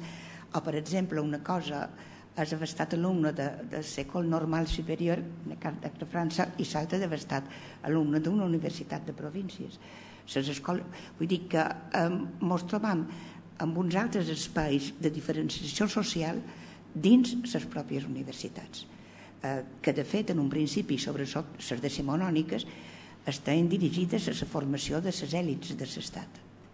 Després, per exemple, en el cas d'Anglaterra, quan se crearan les universitats dels anys 60, formaran part un poc del programa de l'estat de benestar, és a dir, de creació d'universitat de províncies perquè major número de gent pogués tingués accés en el, en eh, en el coneixement. Uh, ara ha, mm, aquest és un tema que crec que és força interessant d'entendre uh, per entendre també el funcionament de les universitats. En aquest sentit, el PAP trenca aquestes barreres. Eh? El menjador de la universitat en alguns casos no el trenca per aquesta situació de diferents nivells i diferents èlits que no es poden trobar. Eh? En canvi, al nou PAP sí. Eh? És, és un lloc diferent de trobada diferent. Eh? Però és que el PAP és diferent. És a dir, és una peculiaritat dels anglesos. Jo puc fer una pregunta? Sí, a mi m'agradaria eh, en el Montserrat no? i en més que tens en el Josep Maria. Quan en el segle XIX se constitueix aquest nou model d'universitat, hi haurà una sèrie d'institucions que aniran creixent i que s'ajudaran mútuament, com són els museus i com són les biblioteques. Eh, el, jardí, el gran jardí botànics, eh, la primera pregunta és, podrien definir-los com un resultat eh, des, de, del pensament de l'il·lustració, del control de la natura, etc. Els jardins botànics eh, es, part es crearan en el segle XVIII i es converteixen en centres de recerca. Com així no s'han incorporat a la universitat, els jardins botànics. Tinguem present, per exemple, que jo he estudiat a l'Institut Balear i l'Institut Balear del segle XIX tenia el seu propi jardí botànic, petitet, però el tenia, perquè era important per la formació dels alumnes. És a dir, eh, ara t'has explicat molt bé la importància que té la recerca dins els jardins botànics i la transcendència que en pugui tenir. Eh, com estan col·laborant amb la universitat? En el, a Europa encara moltíssims jardins botànics són, són encara avui universitaris. Molts. A Espanya està a la vegada l'excepció, però també és l'excepció en número de jardins botànics que té, en té molt pocs. Respecte a ser un dels països amb una flora més rica d'Europa. Aquí tenim més de la meitat de les plantes europees, però en canvi no tenim els instruments per estudiar-les malgrat tenir una riquesa tan alta. És molt diferent en el cas dels Estats Units. Als Estats Units eh, molts jardins botànics neixen com a institucions democràtiques des del principi. Eh, el cas concretament del Jardí Botànic de Nova York. Van ser dos visitants que van, americans que van visitar Kew, que van quedar enamorats de Kew i ho van replicar eh, eh, a Nova York, però eh, la, amb la manera de fer americana, és completament diferent. Aquí ho era, era un botànic imperial, com Berlín ho va ser també de l'imperi germànic. Però clar, és que l'imperi germànic és de la segona meitat del segle XIX en quant d'expansió. Neixen a les universitats italianes i a la Universitat de València. Vull dir que en aquell moment, de fet, eh, això estem al 1500, eh, funcionava com una ciutat italiana. De manera que és, eh, efectivament amb la il·lustració evolucionen cap a un altre, cap a un altre tipus d'institució i neixen els jardins botànics no universitaris, com per exemple el de París. El de París neix com el Jardí del Rei. Que, I el que... de Madrid, per exemple? També. El de Madrid també. També. El de Madrid també.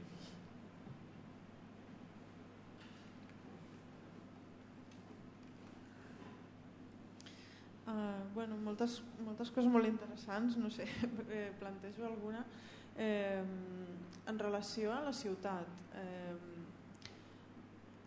des de l'experiència i la perspectiva, m'agradaria un, un, una mica un diagnòstic no? de com estem i què estem fent. Ahir vam fer una passejada amb el Miquel per Gràcia, no? descobrint llocs de ciència de la ciutat i, i bueno, alguns ja no hi són, altres s'han deixat, eh, han desaparegut, eh, no? aquest patrimoni que bueno, canvia i, i a vegades desapareix i això. Cap a quina ciutat anem? Hi ha, hi ha molta...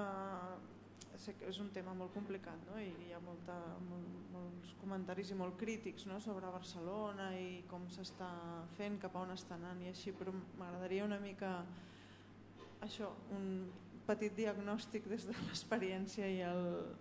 I, I lligat amb això, això dels nens, que també m'ha interessat molt perquè també estem, bueno, hem fet aquests itineraris en guany de, de quatre itineraris de, de ciència a la ciutat i ara estem pensant per l'any que ve pues, adaptar d'alguna manera aquests materials fets des de la història de la ciència una mica pels, per, per joves o potser no per nens però per joves no sé, algun consell no? en relació a l'experiència Sobre sobre la, la relació entre els nens amb la ciutat, a mi em sembla que en, en un aspecte, en l'aspecte de l'àmbit pedagògic, s'ha millorat moltíssim, diríem, no? perquè quan la Marta Mat em va proposar eh, això, és que realment eh, els nens estaven tancats tot el, tot el dia o, o a casa seva o, o, o en una escola, diríem, no? però i prou. I això era, en canvi ara constantment veus els nens passejant, pujant al metro, etc. Nens, grups, de, grups de nens de 3 o 4 anys amb, amb, amb mestres, evidentment. O sigui que hi ha un, amb això ha, ha, ha canviat molt, diríem, no? El problema que hi ha ara és que, de totes maneres, el, crec que els nens s'han convertit en, en, en animalets domèstics que van sempre com, com els gossos amb la corretxa no, no, no, és una corretxa invisible però van sempre a la corretxa i eh, els nens no, no, no, no hi ha una hiperprotecció i, no, i, i els nens han de progressar sortint de la mirada dels adults. Eh, han de han d'anar mesurant el risc però s'han d'arriscar diríem, no? I, evidentment quan, eh, quan eh, em vaig... Eh, la primera vegada que no vaig anar a l'escola i em vaig escapar i devia tenir 8 o 9 anys, etc. doncs eh, eh jo volia anar al paral·lel i em vaig trobar a la Barceloneta diguem, no, em vaig espavilar, eh? no, sé, no, no estaria aquí, sí, no m'ha passat, però vull dir que, que s'has de...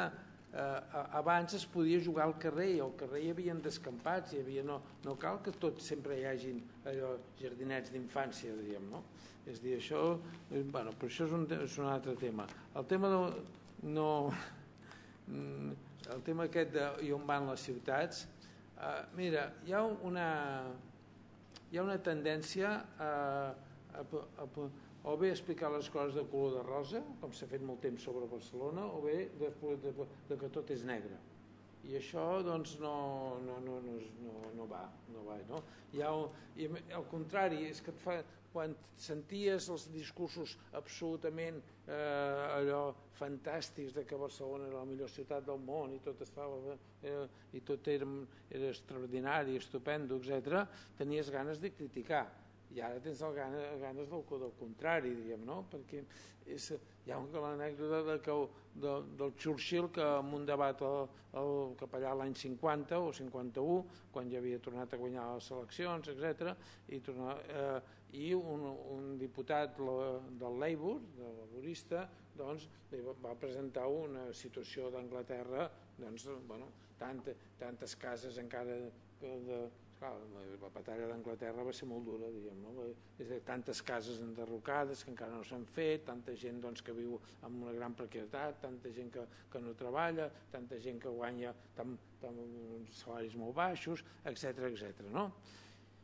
I va presentar un, un panorama molt negre i el Churchill li va dir, diu, és veritat, diu, no, tot això que dius vostè és veritat, però és una cara de la realitat Diu, és que jo ara li podria anar ensenyant l'altra cara perquè des del 45 cap aquí hem fet moltes coses, etc entre altres amb vostès, etc. I, i per tant, miri, la realitat és com una jaqueta de color gris. Si treus els fils negres, per vostès això, la, la jaqueta queda blanca perquè el gris és una barreja de fils blancs i negres, no? És dir, aleshores és el mateix, és el mateix. en el cas de Barcelona, eh, bueno, jo finalment em, em, em vaig vaig fer un llibre que després d'haver estat 12 anys en l'equip de govern, però sense formar part del grup socialista, però amb el Pasqual Maragall, i, eh, i vaig fer un llibre dir, Llums i ombres de l'urbanisme de Barcelona, perquè em sembla que hi ha les dues coses. Eh, i, fi, i, I fins i tot no és del tot just quan es diu, bueno, del 80, de les eleccions democràtiques que van ser el 79, fins, fins després dels Jocs Olímpics va estar tot molt bé després va estar tot molt malament. Tampoc és del tot veritat. És veritat, el que és cert és que a partir dels anys 90 el sector privat s'havia reactivat molt, perquè als anys 80, quan a mi a vegades em preguntaven anant pel món, i, i vostès què fan per controlar els inversors? Nosaltres de moment esperem que vinguin no, perquè no, no, no, no, no hi havia. Ara, després sí, després va ser molt, molt fort, i en canvi l'Ajuntament va, canviar, va quedar endeutat, etc. Però, eh, però bueno, la realitat és aquesta. Cap on van les ciutats jo només diré dues frases. Una, hi ha, hi ha una tendència a la dissolució de la ciutat. La ciutat com un àmbit en què s'exerceix la ciutadania, allò que, com es deia a l'edat mitja, allò és un lloc de persones eh, lliures i iguals, diríem, no? És a dir, això, eh, això es dissol perquè es dissol físicament la ciutat. És a dir, en, aquest, en, aquest, en aquests moments eh, tenim eh, algú que s'assembla a Catalunya ciutat, però hi ha més urbanització que ciutat. És a dir, és a dir eh, i, bueno, i jo ara fa poc, no només aquí, però fa poc vaig estar a una ciutat a fer una conferència a, a, Moli, a, a Molina de Segura, no? que és una ciutat a 14 quilòmetres o així de Múrcia, eh, que té gairebé el doble de quilòmetres quadrats de Barcelona. Em sembla que en té 170, 170 quilòmetres quadrats, Barcelona en té poc més de 90 eh, i, i, i, con, i amb, amb Cotxerola en té 95 o 96 però amb Cotxerola diríem no? és dir, bueno, i té, té eh, 70.000 habitants Barcelona té 1.700.000 més o menys diguem, no? és dir, per tant eh, esclar, però dius, bueno, doncs aquests viuran en una ciutat de 70.000 no, Tu, tu tens un nucli, que deu haver-hi la meitat de la població, i després nuclis a diversos quilòmetres on no hi ha, no hi ha res. És, és pitjor que viure en un poble de Catalunya normal de, de, de 4.000 o 5.000 habitants, diríem, no? És a dir, on hi ha, aquí són habitatges protegits, aquí no, però etc. Per què? I per què? Bueno, el resultat de l'especulació. Per dir-ho és així, diríem, no? perquè, perquè no, no hi ha cap lògica, perquè bueno, és que només n'hi hauria voldria a la, a la legislació urbanística de Barcelona, de Catalunya o d'Espanya o d'Europa es podria posar que qualsevol desenvolupament urbà s'ha de fer o dintre de la ciutat o, o en continuïtat per aprofitar les infraestructures, diríem, no? encara que és, sí, eh, Mèxic és enorme, però a Mèxic hi cabria molta més gent que en canvi ara està a 30 o 40 o 50 quilòmetres diguem, no? perquè treballen perquè és més barat el sol i així es fan... Eh, bueno, aleshores tenim una tendència a la dissolució de la ciutat, com, com, una, com una complexitat compacta, heterogènia, etc. Eh, ara, hi han reaccions i resistències. Per exemple, quan abans hem parlat de la, de la creativitat, de la innovació, etc., això valoritza la ciutat. Quan molt, molt, una part important de les activitats econòmiques es volen localitzar en les ciutats, diríem, no? Eh, bueno, els, eh, és dir, hi ha les resistències socials no, de no viure aïllats, eh, atomitzats, etc etc. Bueno, ha, fa poc vaig... Bueno, el, el, el text base de la, de la tesi, que és famosa, ha donat lloc a un llibre que ha sortit fa uns mesos, que es diu La revolució urbana i els drets ciutadans, i que intento, en l'última part, explicar les 12 tendències positives que es donen a la ciutat i les 12 tendències negatives. Sempre la realitat social sempre evoluciona amb contradiccions en partir de contradiccions. Llavors, hi ha tendències de sentits en un sentit i ni pots dir que, que, que anem a la desaparició de la ciutat, que és cosa que diuen molts experts, eh? I, que en saben, i que en saben molt, segurament molt més que jo, però que diuen, no, doncs és la nostra època és la mort de la ciutat també, també tindríem mala sort que una cosa que existeix des del neolític ens toqui a nosaltres, que sembla no? que ara desaparegui, diguem no, però, uh, però, però diuen, eh? Diuen, ja des de fa 20 anys, etc. No?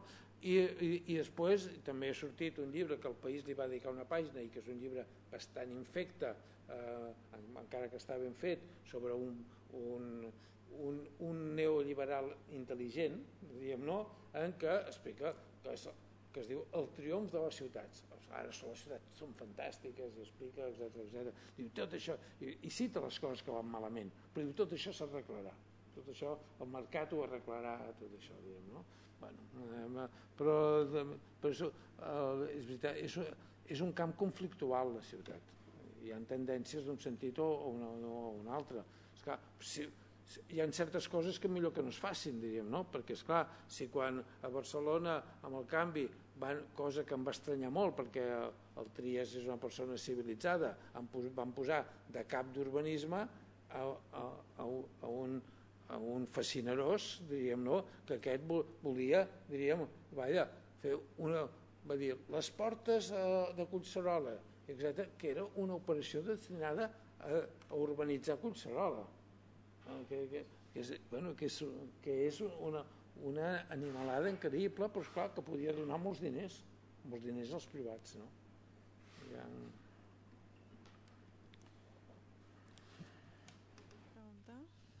Una, una altra coseta sobre les ciències naturals, com, com el tenim i, i perquè bueno, preocupa molt també no? saber bueno, que hi ha projectes no? sobre això, sobre també el Martorell, no? bueno, aquí el Pepe Pardo, que no hi és perquè està a Mèxic, però que és de la societat i col·labora i bueno, no? el, el, el tema i la problemàtica i, i jo em preguntava mm, aquesta dimensió, per exemple el Martorell que està al parc de la Ciutadella no? i a vegades diem els parcs, la participació ciutadana o sigui aquest espai dins de la vida no? de la ciutat hi ha alguna manera de diem de...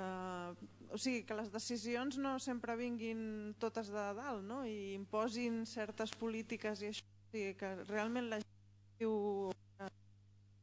en el parc també tingui un paper en la, d'alguna manera, opinió, com a mínim, no? de, de, de quin ha de ser el futur o cap a on ha d'anar això, o no sé, bueno, sé que és una pregunta una mica però... Bueno, aquí, aquí potser tinc alguna cosa a dir-hi, eh, però després em penso que em, em reforçarà el, em Maria Montserrat. Eh, ara no està gens clar encara quin, quin futur té aquest museu de, de ciències naturals. Eh, hi ha... A veure, jo crec que un dels problemes que hi ha és que eh, no ara, però des de molts anys ençà, eh, costa molt d'explicar en els regidors de l'Ajuntament de Barcelona i segurament d'altres ciutats que això de la recerca també, el, també afecta la, el, els ajuntaments i també afecta les ciutats. També és una funció urbana més. Eh, aleshores, eh,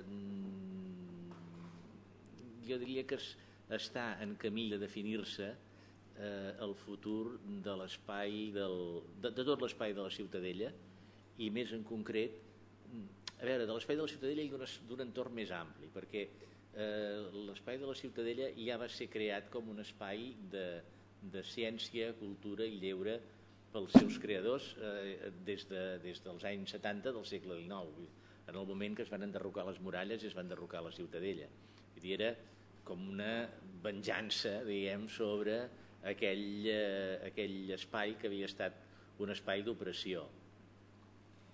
Eh, però és que, a més a més, en, en un entorn del, de la Ciutadella doncs hi ha la Universitat Pompeu Fabra, hi ha l'Hospital eh, del Mar i tota l'estructura de recerca que hi ha al seu entorn.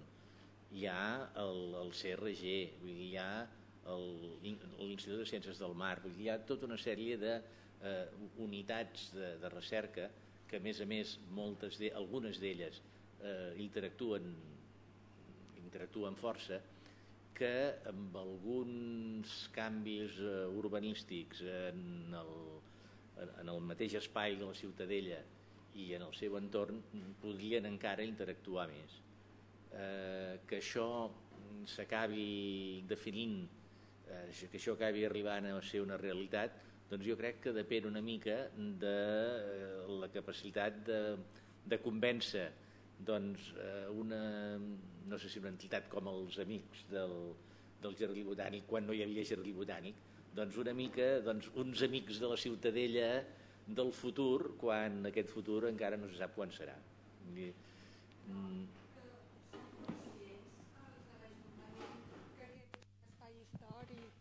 és un espai històric no? que s'ha tancat ara...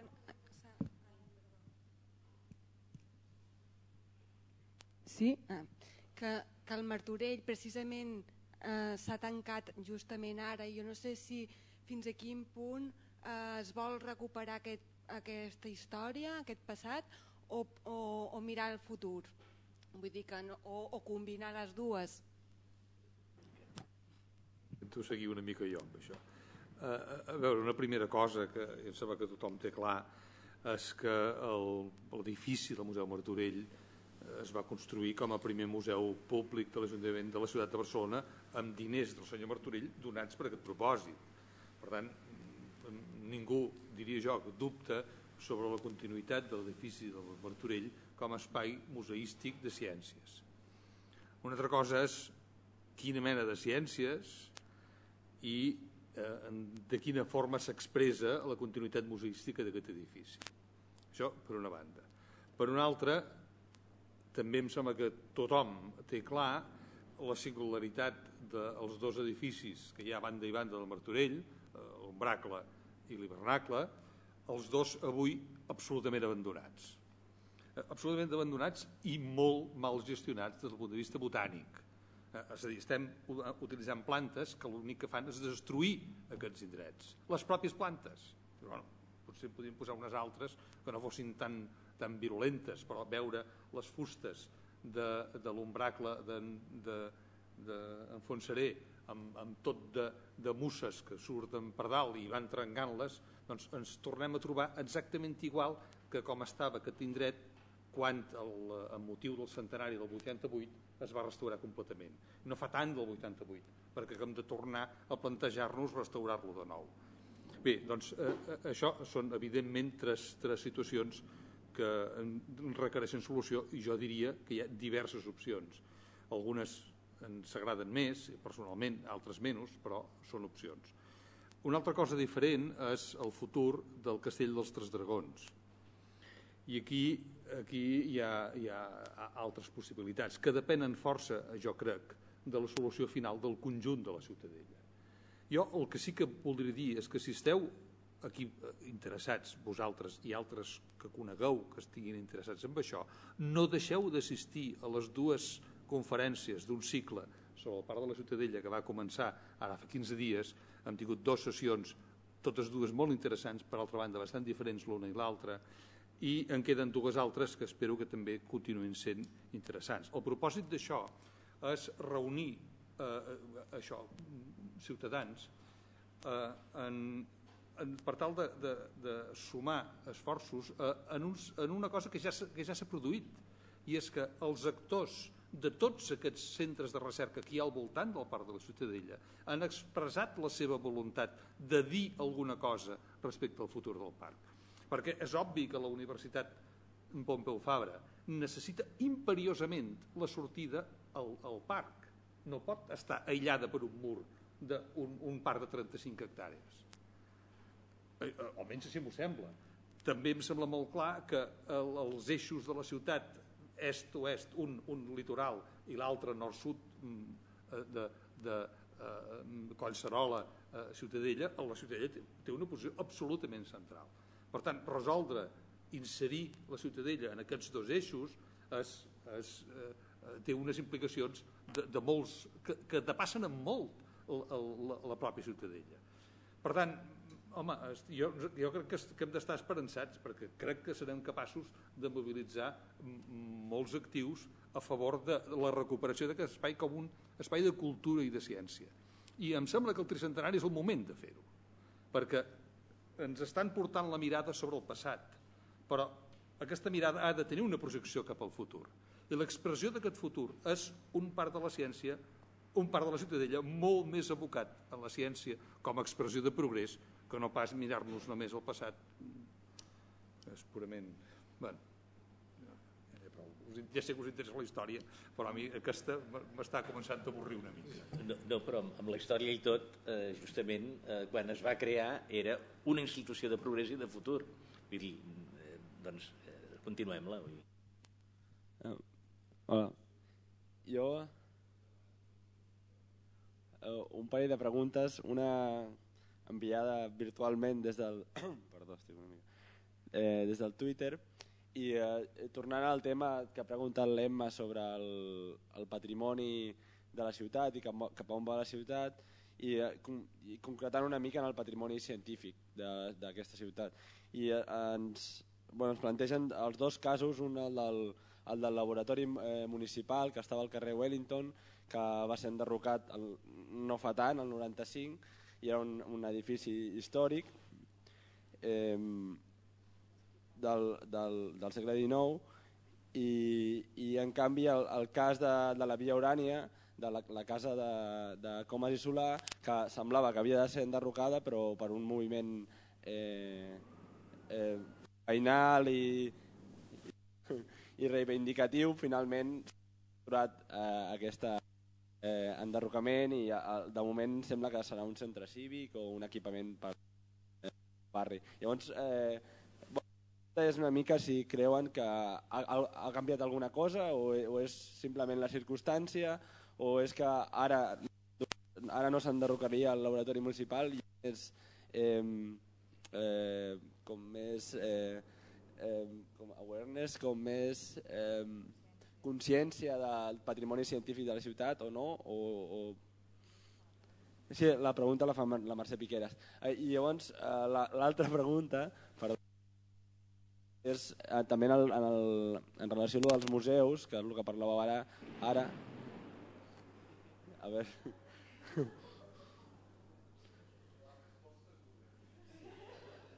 En, en relació al que parlàveu ara del, eh, dels museus, eh, hem, sembla que el projecte serà que sigui un museu de història natural de Catalunya, que tots aquests museus s'ajuntin en un sol museu. Però almenys els que has mostrat a la foto o els que hem parlat aquí són tots situats a Barcelona. Hi ha alguna eh, situació, algun altre museu a fora? O... Sí, sí. És, és la xarxa més densa de museus que existeix a Catalunya són els de ciències naturals, precisament. Comptant comptant eh, eh, tots els àmbits, eh, des de àmbits, és a dir, recuperar el, allò que hi havia a sota del paraigües de l'antiga Junta de Ciències Naturals de Barcelona, eh, projectada en el conjunt de Catalunya, ens dona una xarxa de museus molt potent, que això podrien incloure des d'observatoris astronòmics fins a aquaris, eh, és a dir, que el, el, el vano és molt gran. I, i realment a Catalunya potser encara n'hi podria haver més dels que tenim, eh, per mort de, de la quantitat de, d'espècies de, i, de, i de riquesa biològica que té aquest, aquest racó d'Europa de, com és Catalunya, que és amb un, amb un 2% o, o menys de la superfície total del continent, té el 30% de la biodiversitat del, del conjunt. Sí, sí, per tant, preservant només la, és a dir, destinant a preservar la biodiversitat i, i diversitat geològica de Catalunya eh, eh, amb una part molt petita del pressupost que es gasta en el conjunt d'Europa preservaríem eh, eh això, una tercera part eh, per tant, això és un, un actiu que crec que hauríem de ser més conscients de que el tenim eh, encara que només sigui per explotar-lo turísticament però, però realment és un actiu molt important la meva pregunta era més com... Com, com, com vincular-ho, sí, sí. Com, com? Com vincular-los entre ells. La idea sí, que tenim és crear una xarxa. Com evitar el centralisme dels quatre grans museus de Barcelona. i Això és el gran problema. Eh? Però, però aquest no és un problema només de ciències naturals, és un problema de, de Catalunya en el seu conjunt. Que qualsevol solució que es planteja passa necessàriament per Barcelona i no som capaços de, de, de treure l'esllorigador d'això.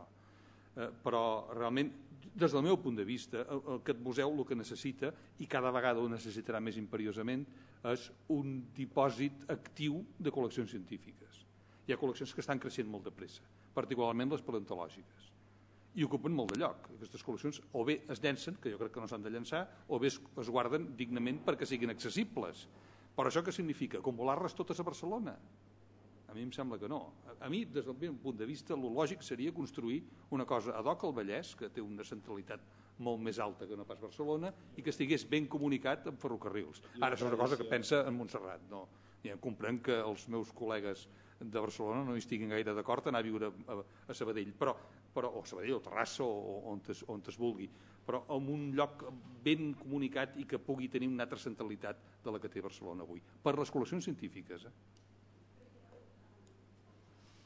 Hi ha l'exemple del Museu de la Ciència i la Tècnica de, de, bueno, de Catalunya que té seu a Terrassa seria és un model, un, un model, sí, és un model. que passa que tampoc acaba de funcionar perquè, tampoc. perquè està a Terrassa i, i llavors sembla que no va gaire bé que estigui a Terrassa. Sí, eh, el, el que és ben segur és que l'edifici blau eh, en el qual hem desplaçat les, les exposicions permanents del museu només ens resol la part expositiva del museu. No pot resoldre la, la part de, de, la, la part nuclear del Museu de Ciències Naturals, que són les seves col·leccions. Allí, en aquell edifici, és, és impossible per la pròpia estructura de l'edifici. No, no admet càrregues. I no hi ha lloc, clar. És a dir, que es necessita la solució d'aquest museu, el, del, del de Barcelona. Estem parlant contínuament de Barcelona perquè el que hem fet fins ara ha sigut posar d'acord els recursos que en ciències naturals tenia l'Ajuntament de Barcelona per poder tenir una veu única respecte en el, a, a fer avançar aquest museu en el conjunt del, del territori, en el conjunt del país. I ara, com a mínim, hi ha un, nivell, ara hi ha un consorci constituït i hi ha una relació paritària entre el govern de, de la Generalitat i l'Ajuntament de Barcelona per la gestió d'aquests tres museus. Altra cosa és que la crisi ens deix, o les prioritats en l'administració dels recursos durant la crisi ens deixin en la situació, en la situació que estem, que és bàsicament que l'Ajuntament de Barcelona aporta el 100% dels recursos.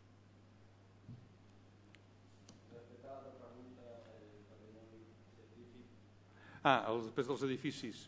Sí, no sé jo, si teniu alguna cosa a afegir. Jo o... amb això soc mm, a terra, no. Si no hi ha un ús concret, a terra, sense, sense més. Hi ha altres interessos. La ciutat és dinàmica, ha de continuar creixent i no ens podem encaterinar en un edifici simplement perquè tingui valor històric. Perdoneu, és un punt de vista meu. Ja, ja sé que sóc contundent amb això, però eh, des del punt de vista de com a laboratori municipal no tenia cap futur. Eh, eh, és l'origen de pràcticament tots els laboratoris de recerca. Catalunya si té potència en alguna cosa és en biomedicina i tots els centres de biomedicina que avui tenim al país tenen el seu origen en el laboratori municipal. Algú s'imagina, algú dels, el PR, el, el centre de, de, aquest centre enorme de recerca biomèdica continuant en laboratoris en aquell edifici? Jo no m'ho puc imaginar. Estic molt content d'haver sortit de l'Institut Botànic Antic i no, no m'agradaria en absolut que, que allò no té cap interès. No creus que val la pena eh, per preservar l'edifici? No, el patrimoni, les col·leccions sí, els edificis no. Bueno, jo voldria matitzar-ho, això. Perquè... Eh, jo crec que estic d'acord completament amb en Montserrat, i això ho feim a Mallorca, si ens dediquem només a conservar que cream per al futur. És a dir, eh, que a mi m'apareix absurdo. És que, um... Perquè després, clar, és que en aquest, en aquest sentit, i parlo des d'una perspectiva d'un habitant d'una ciutadana de Palma, ni la seu ni el castell de Bellvol millor s'haguessin pogut fer, perquè per conservar l'existent s'hagués deixat de fer eh, aquests, aquests elements. Jo crec que eh, un excessiu conservadorisme és tan pecaminós com pugui ser una excessiva mm, idea destructiva. Bueno, eh, bueno jo ja seré el conservador, diríem, no? Eh, no. Eh, bueno,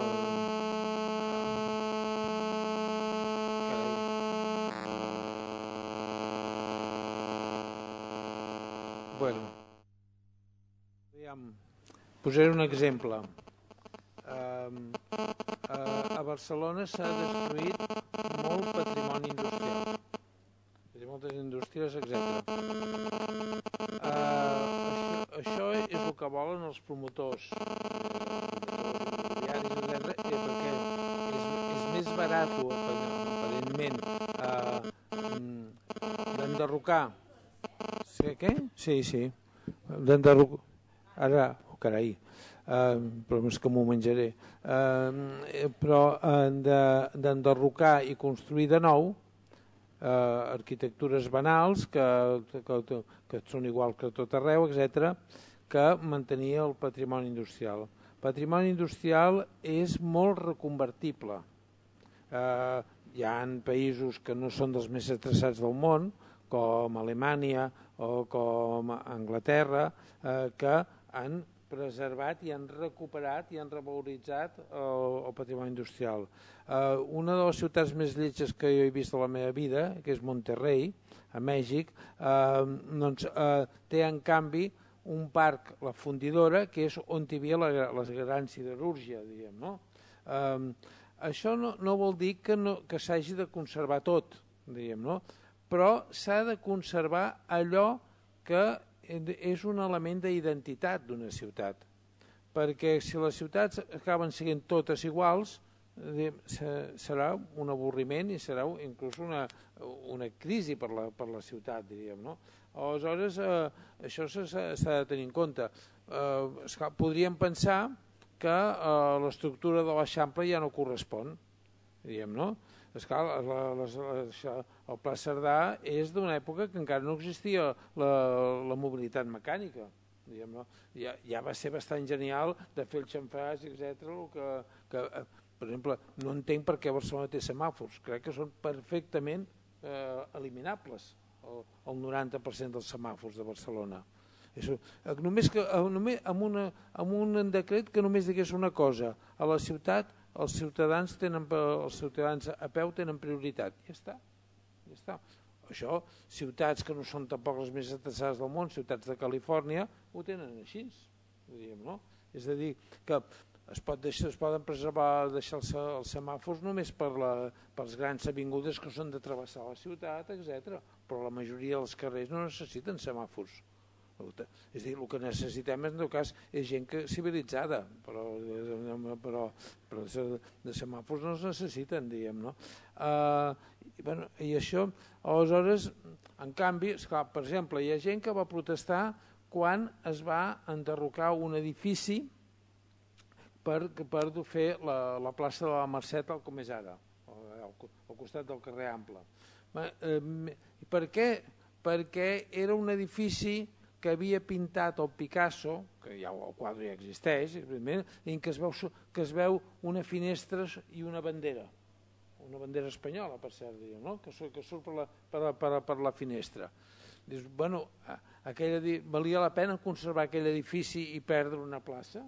Home, pues, pues no, no, no valia la pena.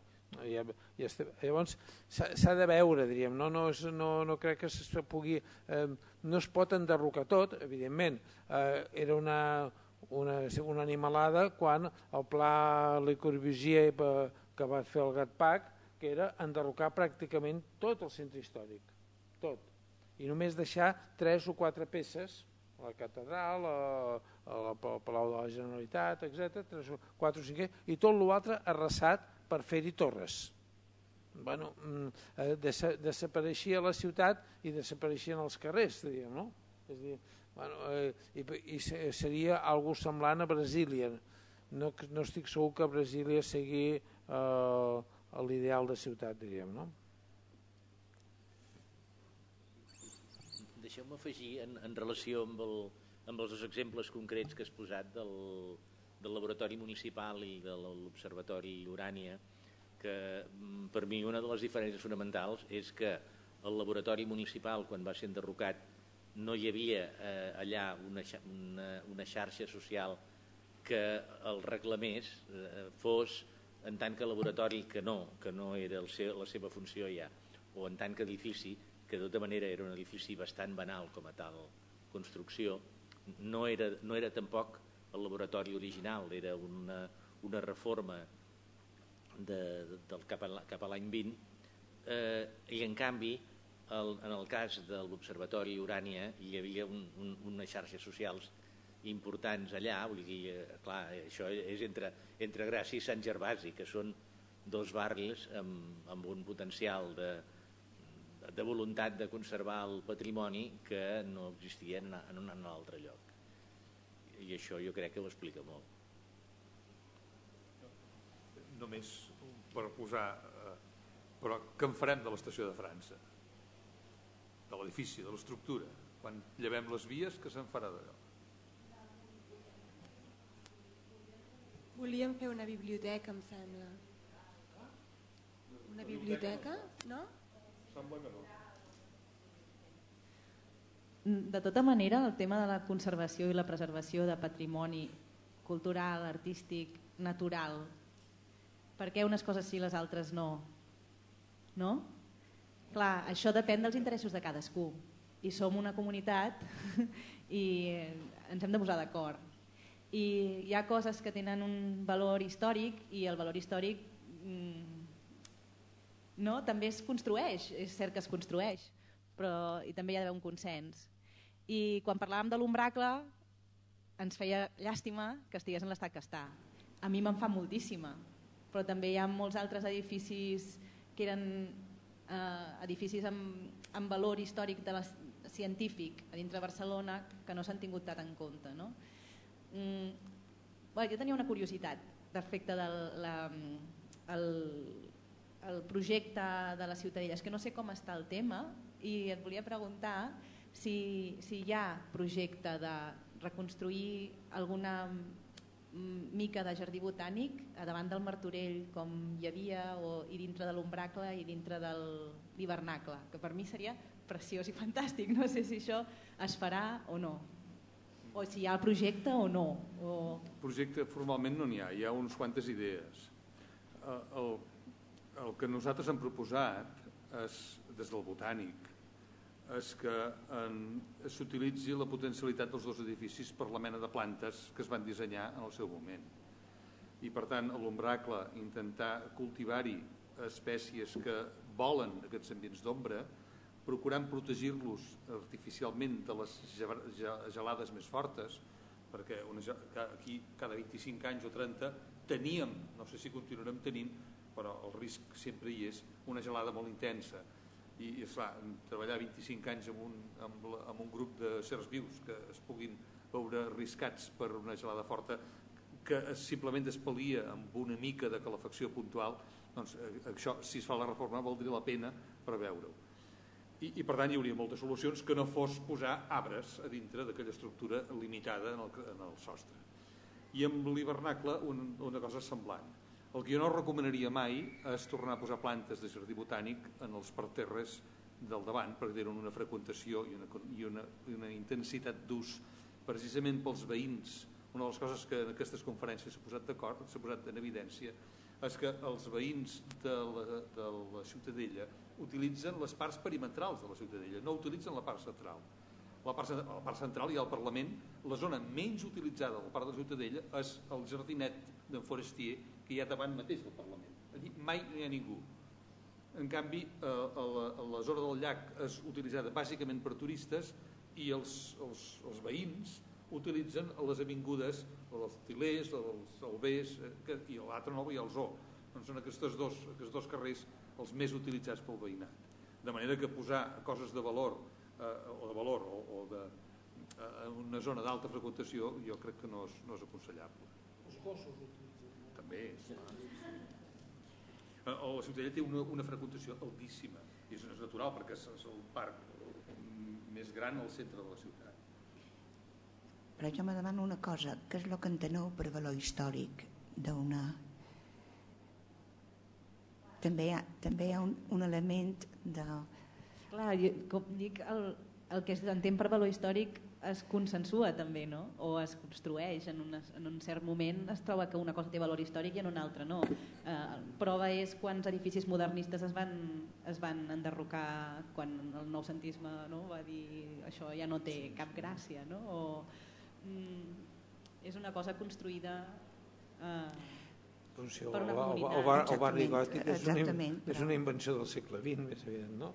Eh, el, però és veritat que cada època va, eh, va que, diríem, valorant algunes coses. Eh, aquí a Barcelona, malgrat ser una ciutat amb història industrial i obrera, ha tingut molt, no sé, ha sigut molt poc respectuós amb, la, amb, amb, les, amb les fàbriques i, se, i bueno, se, queda sol, afortunadament en queda encara Can Batlló però Can Batlló eh, amb el plan que hi ha pactat inclús amb els col·lectius socials que ho defensen i tal és fer unes quantes torres que de fet taparan les, la, els grans, les naus importants que, que es mantindran diríem no? Can Ricard era un, una peça interessant de, del, segle, del segle XIX, eh, del segle XIX avançat, etc.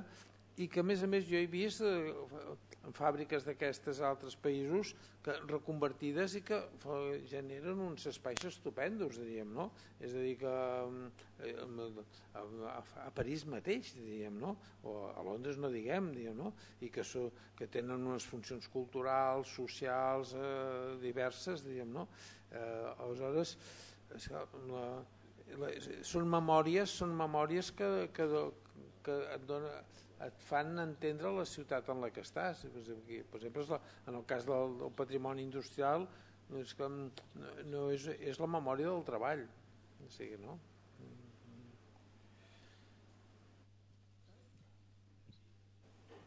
No, aprofitant que com que ens haurem d'esperar que pari de ploure doncs,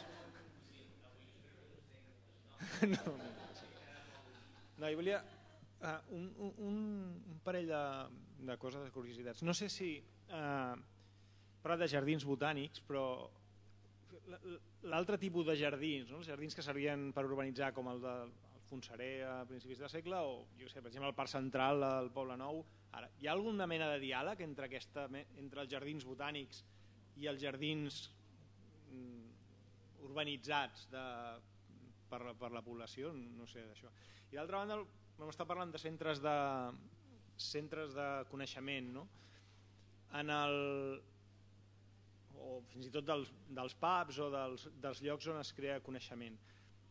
La major part de la població està vivint a, o s'està concentrant, diuen que s'estan concentrant la població en les ciutats, però d'altra banda ens trobem que ara mm, llocs que no són físics on també es crea coneixement. No? Llavors, no sé, m'agradaria algun comentari sobre aquests altres espais que no són físics, sinó que en algun moment ja podríem eliminar les ciutats, no?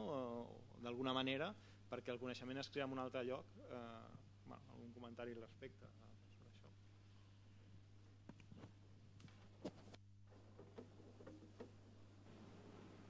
per exemple, els espais cibernètics.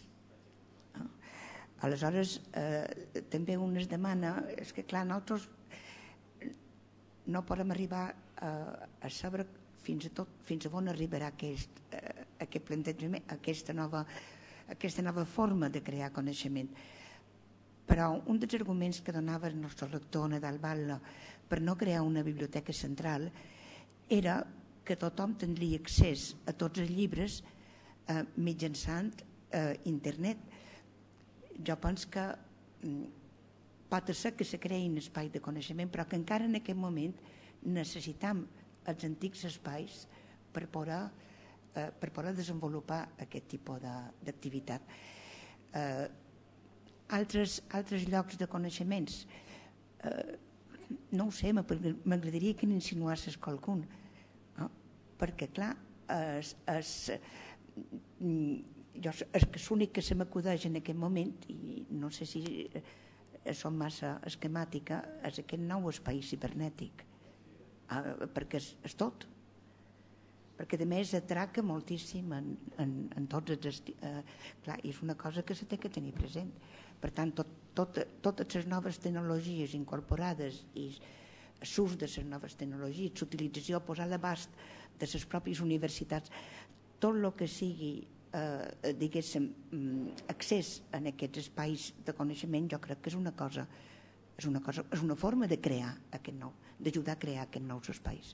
Però això és una perspectiva molt personal. Eh? No, no l'he treballat ni he analitzat, ni... en fi, no, no puc, no puc en el coneixement de lo que va suposar els altres, eh, la societat va creixent i la societat va adquirint, no sé si li interessa, però que s'està intercomunicant d'una manera molt, molt més forta. No. Bé, eh, mm, un dels ponents eh, ha de marxar eh, abans de les 9. Eh, de tota manera, em sembla que el, la taula rodona ha estat rodona, realment, eh, i hi ha hagut... Bueno, segurament encara podria durar una horeta més, però bueno, podem encara continuar fent mentre ens deixin aquí en el, sota el claustre. Eh, moltes gràcies als assistents, encara més gràcies als ponents i bé, queda clausurada aquesta, aquest cicle.